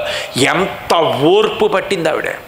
క్షితిక్షమా పుష్కర సన్నిభాక్షి అరక్షిత రఘవలక్ష్మణాభ్యాం సారాక్షసీభి వికృతేక్షణాభి సంరక్షిత సాంప్రతి వృక్షమూలే అన్నారు మహర్షి క్షితిక్షమా పుష్కర సన్నిభాక్షి. కష్టం వచ్చినప్పుడు తట్టుకోవడమే ఓర్పు. ఎంత ఓర్పు పట్టింది నా తల్లి? ఎక్కడి నుంచి వచ్చింది ఈ ఓర్పు? అంటే తల్లి పోలిక అన్నారు. భూమి జగదు భూమికి కూతురు. తెల్లవారు లేస్తే పాదాలతో తంతాం. మలమూత్ర విసర్జన చేస్తాం. ఇల్లు కట్టుకోవాలంటే ఆవిడ గుండెల గుండెల మీద కన్నం పెడతాం. ఆవిడలోంచి వచ్చిన మట్టిని కాల్చి ఇటకలు చేసుకుని ఇల్లు కట్టుకుంటాం. ఆవిడ మీద ఉమ్మి వేస్తాం. ఆవిడ మీద ఎంగిళ్ళు పడేస్తాం. చిట్ట చివరికి ఊపిరి ఆగిపోయిన తర్వాత అందరూ తీసుకెళ్ళి బయట పడుకోపెట్టేస్తే బిడ్డ అని కౌగిలించుకొని తనలో కలుపుకునేది ఎవరైనా ఉంటే ఆవిడే. అందుకే లేవగానే భూమి మీద కాలు పెట్టే ముందు సముద్ర వసనీదేవి పర్వత స్తనమండలే విష్ణుపత్ని నమస్తుభ్యం పాదాహతిం క్షమస్వమి అని ప్రార్థన చేసి లేస్తారు. అమ్మా సముద్రమును చీరగా కట్టుకున్నదానా? నా స్వామి శ్రీ మహావిష్ణువు యొక్క ఇల్లాలా ఓ భూదేవి? నా బతుకు లేక ఇంకా ఇంతకన్నా నాకు అవకాశం లేక నీ మీద పాదం పెట్టి లేస్తున్నాను. చిన్నతనంలో అమ్మ పాలిస్తుంటే అమ్మకి ప్రాణం కన్నా ఎక్కువైన మంగళసూత్రం చేతితో పట్టుకుని నా పాదంతో అమ్మ గుండెల మీద తన్నాను. మా అమ్మ ఎంత ప్రేమగానో తన్నిన పాదాన్ని ముద్దు పెట్టుకొని చేతిలోంచి మంగళసూత్రాన్ని విడిపించుకొని నన్ను క్షమించి పెంచి పెద్ద చేసింది. ఆనాడు కన్నతల్లికి అపచారం చేశాను తెలియక. ఈనాడు పెద్దవాణ్ణై తెలిసి బతుక్కి అవకాశం లేక నీ మీద పాదాలు పెట్టి తిరుగుతున్నాను. అమ్మా నన్ను క్షమించు. ఇంతకన్నా నాకు బ్రతుకు లేదు అని సముద్రవసనేదేవి పర్వత స్థనమండలే విష్ణుపత్ని నమస్తుభ్యం పాదాహతిం క్షమస్వామి. ప్రతి తేజస్సులో భగవంతుణ్ణి చూడ్డం సనాతన ధర్మం. యద్యద్విభూతి మత్సత్వం శ్రీమదుర్జితమేవవా? తత్తదేవాగ తత్తదేవావగచ్చస్తం మమ తేజోంశ సంభవం అంటాడు భగవద్గీతలో గీతాచార్యుడు. భూమి యొక్క తేజస్సుని చూసి నమస్కరించడం సనాతన ధర్మం యొక్క గొప్పతనం. అటువంటి భూమి ఎంత ఓర్పు ఆ ఓర్పు కూతురుకు వచ్చేసింది క్షితిక్షమా పుష్కర సన్నిభాక్షి అరక్షిత రాఘవలక్ష్మణాభ్యాం. అమ్మ ఇంత గొప్ప తల్లివి రాక్షస స్త్రీల మధ్యలో ఉన్నవా ఆదిశక్తివి నువ్వు? ఎవరి కోసం మమ్మల్ని అందరినీ కాపాడడం కోసం నరుడి చేతిలో చనిపోతాడు కాబట్టి పరబ్రహ్మము నరుడిగా వస్తే పాపం వండుకోవడానికి వీలుగా నువ్వు వెళ్ళి ఇంత కష్టపడ్డావా? ఇంత ఓర్పు పట్టావా? पुष्करसन्निभाक्षी आरक्षिता राघवलक्ष्मणाभ्याम साराक्षसीभिः विकृतेक्षणाभिः संरक्षिता सांप्रति वृक्षमूले ఎక్కడో అల వైకుంఠపురంబులో నగరిలో ఆమూల సౌధంబుదాపల మందార వనాంతరామృతసర ప్రాతేందు కాంతోత్ప కాంతాపలోత్పల పర్యంకర మా వినోదియగు ఆపన్న ప్రసన్నుండు విహ్వల నాగేంద్రము పాహీ పాహీ అన కుయ్యాడించి సౌరంభి అయ్యని ఎక్కడో వైకుంఠంలో పాలసముద్రంలో అమృత సరస్సు పక్కన మణులతో తాపడం చేయబడినటువంటి వేది మీద లక్ష్మీదేవి బయట కొంగు పట్టుకుని ఆడుకుంటున్న శ్రీమన్నారాయణుడితో కలిసి విహరించవలసినటువంటి తల్లి స ప్రేమభీతి కమలాకర పల్లవాభ్యాం సంవాహనీపి సపదిక్లమ మాధదానవు కాంతావమనసగోచర సౌకుమార్యౌ శ్రీవేంకటేశరణౌ శరణం ప్రపద్యేని శ్రీమన్నారాయణుడి పాదములు ఒళ్ళో పెట్టుకుని ఆయన పాద సంవాహనం చెయ్యవలసినటువంటి తల్లి ఆయన వక్షస్థలమునందు నివాసం చేసేటటువంటి తల్లి అంత కష్టపడడమా ఎంత ఓర్పు పట్టావమ్మా? సీతాయాశ్చరితం మహత్. ఎంత గొప్ప సీతమ్మ? ఎంత గొప్ప సీతమ్మ కథ. ఏమి ఓర్పు అందులో పదహారో వంతు రాకపోతే ఏమి రామాయణానికి వారసత్వం ఇది అది ఆ తల్లి యొక్క అనుగ్రహం. కాబట్టి అంత ఓర్పు వహించిందే ఆవిడ కన్నుల వెంట అన్ని నీళ్ళు పడ్డాయి. అది భూమిని కాల్చేదు. కాలకుండా భూమి మిగిలింది అంటే హనుమ చేసిన ఉపకారం. ఆయన కొత్త అగ్నిహోత్రాన్ని తేలేదయా నిజానికి రావణుడు పెట్టిన అగ్ని కాదు సీతమ్మ కంటి వెంట పడినటువంటి బాష్పధార అన్న అగ్నిహోత్రాన్ని లంకలోనే పెట్టి లంకని కాల్చేశారు. మిగిలిన భూమిని కాపాడారు అని హనుమని స్తోత్రం చేశారు. అంత గొప్ప తల్లి. ఆ తల్లి యొక్క వైభవం గురించి చెప్తూ అసలు ఊహకి కూడా చాలా కష్టం మీద అందవలసినటువంటి ఉపమానవరుని వేశారు ఆవిడ పాతివ్రత్యం గురించి.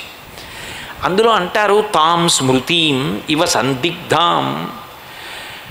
ఆవిడ ఎలా ఉందంటేట తాం స్మృతిమివ సందిగ్ధాం వృద్ధిం విపతితామివ తాం స్మృతిం ఆయనకి అన్ని జ్ఞాపకమే. ఆయన మళ్ళీ పుస్తకం పట్టుకుని చూసుకోక్కర్లేదు. ఆయన చెప్తూ చెప్తూ ఎక్కడిది ఏదైనా అన్వయం చేసేవాడు ఒకప్పుడు. ఎందుకంటే ఆయనకి స్మృతి పథంలో ఉండేవి ఆయన జ్ఞాపకంలో ఉండేవి. ఎందుకు జ్ఞాపకంలో ఉండేవి? ఏది జ్ఞాపకంలో ఉంటుంది? దేని మీద మీకు ప్రేమ ఎక్కువ ఉంటుందో అది మీకు జ్ఞాపకంలో ఉంటుంది. దేని మీద ప్రేమ ఉండదో అది విస్మృతి పొందుతుంది. నాకు నా కొడుకు అంటే చాలా ప్రేమ అనుకోండి నా కొడుకే జ్ఞాపకానికి వస్తుంటాడు వాడు గుర్తుంటాడు. నాకు ఇంకొకటి ఇష్టం అనుకోండి అది గుర్తొస్తుంది. ఒకనకొకనాడు ఆయనకి అన్నీ అంత జ్ఞాపకం. ఇప్పుడు ఆయనే ఏదైనా చెప్తూ ఇదేనా? నేను సరిగా చెప్తున్నానా? అది కాదా? అని అనుమానపడుతున్నాడు. అంటే ఆయన యొక్క ఇష్టం మారింది. ఒక దాని మీద ఉండవలసింది ఇంకొక దాని మీదకి పోయింది. అందుకని ఏది ఇంతకుముందు ఆయనకి చెప్పడం తేలికో అది ఇప్పుడు ఆయన చెప్పలేకపోతున్నాడు. తాం స్మృతివివ సందిగ్ధాం అలా ఉంది సీతమ్మ. ఏమిటి దాని అర్థం? అంత వేదం చదువుకున్నాడు అంత శివపూజ చేశాడు అంత గొప్పగా బ్రతికాడు. ఇప్పుడు తెల్లవారి నిద్రలేచిన దగ్గర నుంచి మహాపతివ్రత పట్ల కామమోహితుడు. అప్పుడు ఆ తేజస్సు దేనికి పనికొస్తుంది? అప్పుడు ఆ చదువు ఎంత చదువైనా దేనికి పనికొస్తుంది? అప్పుడు ఆయన గౌరవనీయుడు కాడు పూజనీయుడు కాడు. ఆయనని చేరి ప్రయోజనం లేదు. ఎంత అందంగా చెప్పారంటే మహర్షి రావణాసురుడు తెల్లవారుజామున నిద్రలేచి చెయ్యవలసిన అనుష్ఠానం చెయ్యకుండా సీతమ్మని తలుచుకుని మద్యపానం చేస్తూ అశోకవనానికి వెళ్ళాడు. అలా వెళ్ళి నిలబడిన రావణాసురుడి గురించి చెప్తూ సంకల్ప వృక్ష ప్రతిమో వసంత యువమూర్తిమాన్ శ్మశాన చైత్య ప్రతిమో భూషితోపి భయంకర అన్నారు. మూర్తీభవించినటువంటి వసంత ఋతువు వసంత ఋతువు అంటే అంత అందంగా ఉంటుంది. అయోధ్యకాండలో దశరథుడు అంటాడు చైత్ర శ్రీమాన్ ఇయం మాస పుణ్య పుష్పిత కానన యవ్వరాజ్యాయ రామస్య సర్వం మే ఉపకల్ప్యతాం అంటాడు. వసంత ఋతువు వచ్చిందంటే చెట్లన్నీ చిగర్చి పువ్వులు పూస్తాయి.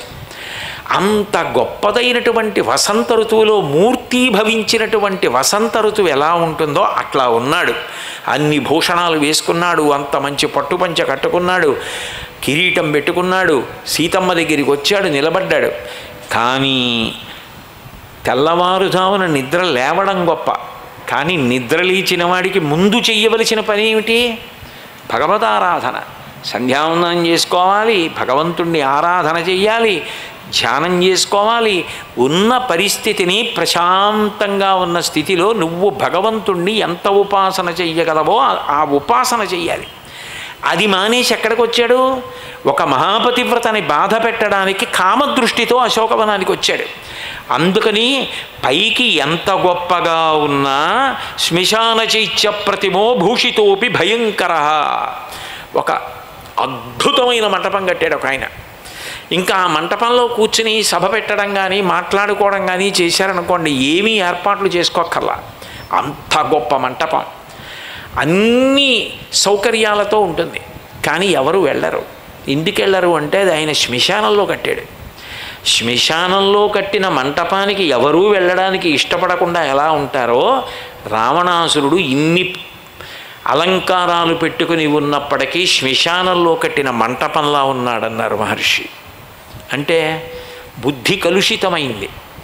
ఏది గుర్తొచ్చి తాను చెయ్యాలో అది ఆ సమయమునందు చెయ్యలేకపోతున్నాడు. ఎందుకని ఆచారం అన్న మాటకు అర్థం ఏమిటి? కాలంతో ముడిపడి ఉంటుంది.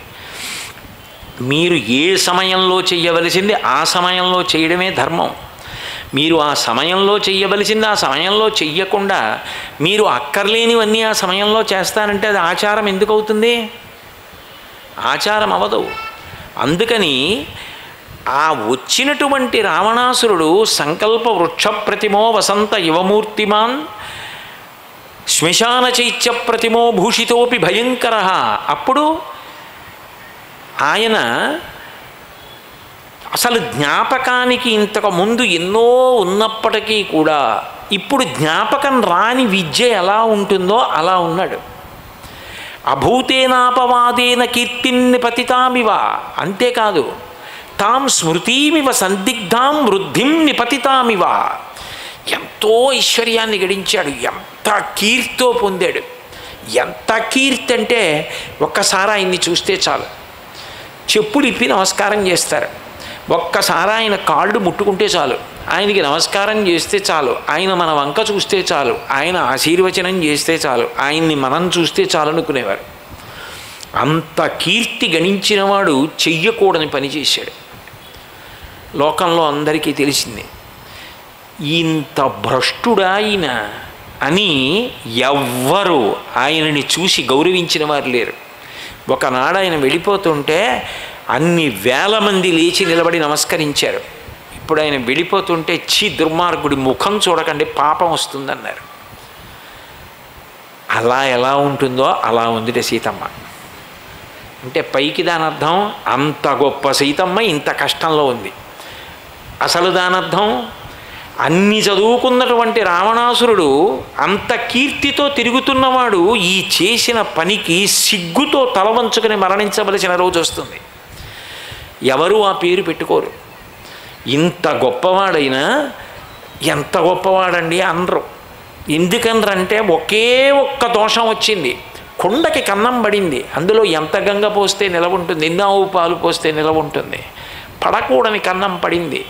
మహాపతివ్రత జోలికి ఎడుతున్నాడు. ఆయన ఎందు అనురక్త కాదు. కాని స్త్రీ జోలికి పెడుతున్నాడు ఇది ప్రమాదహేతువు అందుకని తాం స్మృతిం ఇవ సందిగ్ధాం వృద్ధిం నిపతితామివ. అభూతేనాపవాదీన కీర్తిం నిహితామివ. ఏదో ఆధారం లేనిది ఒక అపవాదు ఎవరో వేశారు ఆయన మీద. అపవాదు వేస్తే ఆయన చెయ్యని తప్పుకి ఆయన ఎలా బాధపడతాడో అలా ఉందిట సీతమ్మ. అంటే ఇవాళ ఆమె అలా కష్టంలో ఉంది కానీ అపవాదు తొలగిపోతుంది సత్యము నిలబడుతుంది కీర్తి ప్రకాశిస్తుంది మళ్ళీ. అట్లాగే సీతమ్మ మళ్ళీ సుఖాన్ని పొందుతుంది. సీతమ్మ కష్టానికి కారణంగా అపవాదుగా నిలబడినవాడు మాత్రం వెళ్ళిపోతాడు ఎందుకు వెళ్ళిపోయాడంటే పతివ్రత జోలికి వచ్చాడు కాబట్టి. సీతమ్మ వైభవాన్ని ఇలా రెండు ఉదాహరణల వైపు వెళ్ళేటట్టుగా చెప్పడం అంటే ఎలా సాధ్యం? అంత గొప్పగా మాట్లాడారు మహర్షి. మాట్లాడి అంతేకాదు అసలు అన్ని అసలు నాకు ఆ సుందరకాండ జరుగుతుంటే అద్భుతంగా అనిపించేటటువంటి ఉదాహరణ ఏమిటంటే శ్రద్ధాం నిపతితామివ. పోయిన శ్రద్ధ ఎలా ఉంటుందో అలా ఉందిట సీతమ్మ. శ్రద్ధ అంటే శంకరాచార్యులు వారు శ్రద్ధ అన్న మాటకి వ్యాఖ్యానం చేశారు. శాస్త్రస్య గురువాక్యస్య సత్యబుద్ధ్యావధారణ సా శ్రద్ధ కడితాసిద్భి యయా వస్తూపలభ్యతే శాస్త్రము ఏం చెప్పిందో అది గురువుగారు ఏం చెప్పారో అది పరమ సత్యములు అన్న నమ్మకం ఎవరికి ఉంటుందో వాడికి శ్రద్ధ ఉంటుంది. శ్రద్ధావాన్ లభతే జ్ఞానం. తత్ తత్పర సంయమేంద్రియ జ్ఞానం లబ్ధ్వా పరాం శాంతిం మచిరేణ అధిగచ్చతి అంటాడు గీతాచార్యుడు. ఎవరికి ఆ శ్రద్ధ ఉంటుందో వాళ్ళకి ఇంద్రియ నిగ్రహము ఉంటుంది. తత్కారణం చేత వాళ్ళకి జ్ఞానము కలిగి తొందరలోనే వారు పొందవలసినటువంటి గొప్ప శాంతిని పొందుతారు. అదే మోక్షం విడుదల. ఇక దుఃఖస్పర్శ లేనిది. అటువంటి స్థితిని కల్పించగలిగిన శ్రద్ధ ఏది ఉందో గురువాక్యం మీద నమ్మకం శాస్త్రం మీద నమ్మకం ఉండవలసినది చెడిపోతే ఎలా ఉంటుందో అలా ఉందిట సీతమ్మ. అంటే ఆ శ్రద్ధ పోయినవాడు ఒకప్పుడు ఎంత బాధతో ఉంటాడో ఆమె అలా ఉంది. నిజానికి ఈ పోయినవాడు ఎవరు? వేదం చదువుకోలేదు ఆయన? చదువుకుంది చదువుకున్నాడు. చదువుకున్నవాడు అన్నీ తెలుసున్నవాడు ఆమె పట్ల అట్లా ప్రవర్తిస్తున్నాడు. ఇప్పుడు ఈ ప్రవర్తించిన ప్రవర్తన ఆయన ఏం చేస్తుంది? పది తలలు తెగిపోయేటట్టు చేస్తుంది. ఇది ఆమె పాతివ్రత్యం ఆవిడ గొప్పతనం ఆవిడ ఓర్పు ఆవిడ లోకానికి చేస్తున్న ఉపకారం. పాతివ్రత్యము ద్వారా రావణాసురుణ్ణి చంపేస్తోంది ఆవిడ. అంటే ప్రతి క్షణం చచ్చిపోతున్నాడు రావణాసురుడు. తన శిరస్సులు తెగిపోవాలంటే దానికి కావలసినది వండేసుకుంటున్నాడు రాకూడనటువంటి ఆలోచనలు రావడమే తప్పు. వచ్చిన తరువాత అటువంటి మహాపతివ్రతతో మాట్లాడేటప్పుడు ఎట్లా మాట్లాడాలో అట్లా మాట్లాడకపోవడం అంతకన్నా పెద్ద తప్పు. ఆవిడకో నమస్కారం చేయడమో గౌరవంగా మాట్లాడడమో వీరు. అసలు అట్లా కాకుండా ఆవిడ మనసుకి మరింత గాయం తగిలేటట్టుగా మాట్లాడడం ఎంత ప్రమాదకరం? మాట ఏం చేస్తుందంటే మళ్ళీ మళ్ళీ మళ్ళీ మళ్ళీ జ్ఞాపకానికి వస్తుంది మాట ఎంత జ్ఞాపకానికి వస్తుందో అంత బాధ పెడుతుంది. బల్జేపల్లి వారు సత్యహరిశ్చంద్రియంలో మాట అంటారు కడుపున్ రంపపు కోత కోయునదియే గాయాలు కాకుండినన్నంటారు ఒక వ్యక్తిని పడుకోబెట్టి కాళ్ళు చేతులు కట్టేసి రంపంతో కడుపు కోస్తుంటే పడే బాధ కన్నా అనరాని మాట అనకూడని మాట సత్యం తెలియకుండా ఒక ఉత్తముణ్ణి అంటే ఆయన ఎంత బాధపడతాడో మాట అంత బాధ కల్పిస్తుంది. అనకూడని మాట అనకూడదు. సత్యాసత్యములు తెలియకుండా వినదగు నెవ్వరు చెప్పిన వినినంతనే వేగపడక వివరింపతగున్ కనికల్ల నిజము తెలిసిన మనుజుడే పో నీతిపరుడు మహిళో సుమతి అంటాడు భజన గారు. ముందు వెనకలు ఆలోచించకుండా ఎవరో ఏదో చెప్పారని తొందరపడి మాట్లాడడం చాలా ప్రమాదకరమైన విషయం. ఎంత బాధపడతారు పెద్దలు? కాబట్టి సీతమ్మతో మాట్లాడేటప్పుడు మాట ఎక్కువ ప్రమాదాన్ని తీసుకొస్తుంది. మాట ఎనభై నాలుగు లక్షల జీవరాశులలో భగవంతుడు ఎవ్వరికి ఇవ్వలేదు మనిషికి ఇచ్చాడు. ఆ మాట చేత మనిషి తరించిపోగలడు. కేవలం భగవన్నామం పట్టుకుని తరించిపోతాడు. అందుకే భగవన్నామం పలుకుతానంటే నేను పలకగలనా? ఈశ్వరా నా చేత పలికించని వేడుకున్నారు ఎందరో. మహానుభావుడు రా ఆ రామదాసు గారు ఆ రామ నీ నామం పలుకుదామంటే నా వల్ల అయ్యేటటువంటి పని అది నేను పలుకుదామంటే పలికేది కాదు. నువ్వే నా చేత రామనామాన్ని పలికించు. హరునకు విభీషణులకు అద్రిజకున్ తిరుమంత్రరాజమై కరికి నహల్యకున్ ద్రుపదకంజకు నార్తి హరించు చుట్టమై బరగిన ఎట్టి నీ పతితపావన నామము. నాదు జిహ్వపై నిరంతరము నటింపచేయుమిక దాశరథీ కరుణాపయోనిధి అంటాడు. శ్రీకాళహస్తీశ్వర శతకంలో దూర్జటి పవి పుష్పంబగు అగ్ని మంచగు ఆకూపారం భూమిస్థలంబగు శత్రుండతిమిత్రుడు విషము దివ్యాహారమౌ నిన్నగా అవనీమండలి లోపలన్ శివ శివేచ్ఛాభాషణోల్లాసకిన్ శివ నీ నామము సర్వవస్యకరమౌ శ్రీకాళహస్తీశ్వర అంటాడు. శివనామం పలికిన వాడికి ఎప్పుడూ అన్నీ ఆనుకూల్యతను పొందుతాయి కానీ శివనామం పలుకుదామంటే పలకగలనా? శివ మీరు నా చేత పలికించి నన్ను ధన్యుణ్ణి చేయండి అంటారు. నరసింహస్వామి గురించి నృసింహ శతకం చేసినటువంటి మహానుభావుడు అంటాడు బ్రతికియున్నన్నాళ్ళు నీ భజన తప్పను కాని మరణకాలమునందు మరతునేమో ఆ వేళ యమదూతల ఆగ్రహంబున వచ్చి ప్రాణముల్ పెకలించి పట్టునప్పుడు కపవాత పైత్యముల్ కప్పగాశ్రమ చేత కంపముద్భవమంది కష్టపడుచు నారాయణ అనుచు నా జీహ్వతో నిన్ను పిలుతునో శ్రమ చేత పిలువలేనో. నాటికిపుడి నీ నామస్మరణ చేతు. చివినిడవయ్యభూషణ వికాస శ్రీధర్మపుర నివాస దుష్ట సంహార నరసింహ దురిత దూర అంటాడు. ప్రాణం పోయేటప్పుడు యమదూతలు వచ్చి భయంకర రూపాలతో నిలబడి పాశములు వేసి ప్రాణములను బుగ్గడిస్తున్నప్పుడు కపవాత పైత్యములు కప్పి ప్రాణాన్ని నొక్కేస్తున్నప్పుడు నేను నారాయణ అని అనగలనో అనలేనో. కానీ ఒకనాడు శోభకృత్నామ సంవత్సరంలో మాఘ పౌర్ణమి నాడు చిత్తూరు లాంటి పరమ ప్రఖ్యాతమైన పట్టణంలో మహాభాగవతుల మధ్య కూర్చుని తెలిసో తెలియకో రామాయణాంతర్గతంగా రామ సీతమ్మ నారాయణ అన్నానని గుర్తుపెట్టుకోవయా స్వామి? గుర్తుపెట్టుకుని దాన్ని అడ్డు పెట్టి నన్ను గట్టెక్కించవయా? అంటే భగవన్ నామం పలకడం అంత తేలిక కాదు. నోరు ఉన్నా అక్కర్లేని మాటలు ఎన్నో మాట్లాడతాడు. ఇతరుల దోషాలు చెప్పమంటే ప్రతివాడు పండితుడే. పరోపదేశ వేళాయాం సర్వే వ్యాసపరాశరాహ ఇతరుల గురించి మాట్లాడమంటే ఇతరుల తప్పుల గురించి చెప్పమంటే ఇతరుల లోపాల గురించి చెప్పమంటే నేను ఇలా మాట్లాడచ్చా? నేను ఇదే పనిగా అదే మాట అస్తమానం అనొచ్చా ఇది నాకు తగున విచక్షణ ఉండదు. అదే పని అక్కర్లేని తీర్పులు తనకన్నా వయసులో పెద్దవాళ్ళ గురించి మాట్లాడడం యథేచ్ఛగా మాట్లాడతాడు. తన దోషాలు తను చేసే తప్పులు అవి అక్కర్లేదు. తన గురించి తనని దిద్దుకుందామన్న ఆలోచన లేదు. తను మాత్రం సూర్య భగవానుడు స్వయం ప్రకాశకుడు తనకి ఏ దోషం లేదు. తప్పులన్నీ అవతల వారిలోనే ఉన్నాయి. అట్లా ప్రవర్తించి మాట్లాడడం పాపం మూట కట్టుకోవడానికి నోరు కారణమైంది భగవన్నామం పలకడానికి కారణం ఎందుకైంది ఆ మా ఉంటే మాత్రం పలకడం అంత తేలిక దానికి ఎంత భగవద్ అనుగ్రహం ఉంటే పలకగలడు? మాట ద్వారా ఎంత పాపాన్ని మూట కట్టుకుంటాం? అందులో నాబోటిగాడు ఎంత పాపం మూట కట్టుకుంటాడు? మీ గురించి కాదు చెప్పింది. నాబోటిగాడి గురించి నా గురించి నేను చెప్పుకున్న దుష్మండి. కాబట్టి అటువంటప్పుడు మాట్లాడేటప్పుడు అందులో పెద్దల దగ్గర మాట్లాడేటప్పుడు ఎంత జాగ్రత్తగా ఉండాలి? ఎందుకు అక్కర్లేని మాటలు? అసలు నీ అవసరం లేనప్పుడు కూర్చోవడమే పెద్ద తప్పు. కూర్చోవడం పెద్ద తప్పు నీకు అక్కర్లేని మాటలు నీ స్థాయికి దాటిన మాటలు నీ జోక్యం అక్కర్లేని మాటలు మాట్లాడడం అంతకన్నా పెద్ద తప్పు. మహాపతివ్రత దగ్గరికి వెళ్ళమని ఎవడు చెప్పాడు? ఆవిడ్ని అపహరించమని ఎవడు చెప్పాడు? ప్రతిరోజు తెల్లవారుజామున పెడతావా? పూజ చేసుకునే సమయంలో వెళ్ళి ఆవిడ మళ్ళీ మర్నాటి వరకు ఇచ్చే మాటలన్నీ మాట్లాడతావా?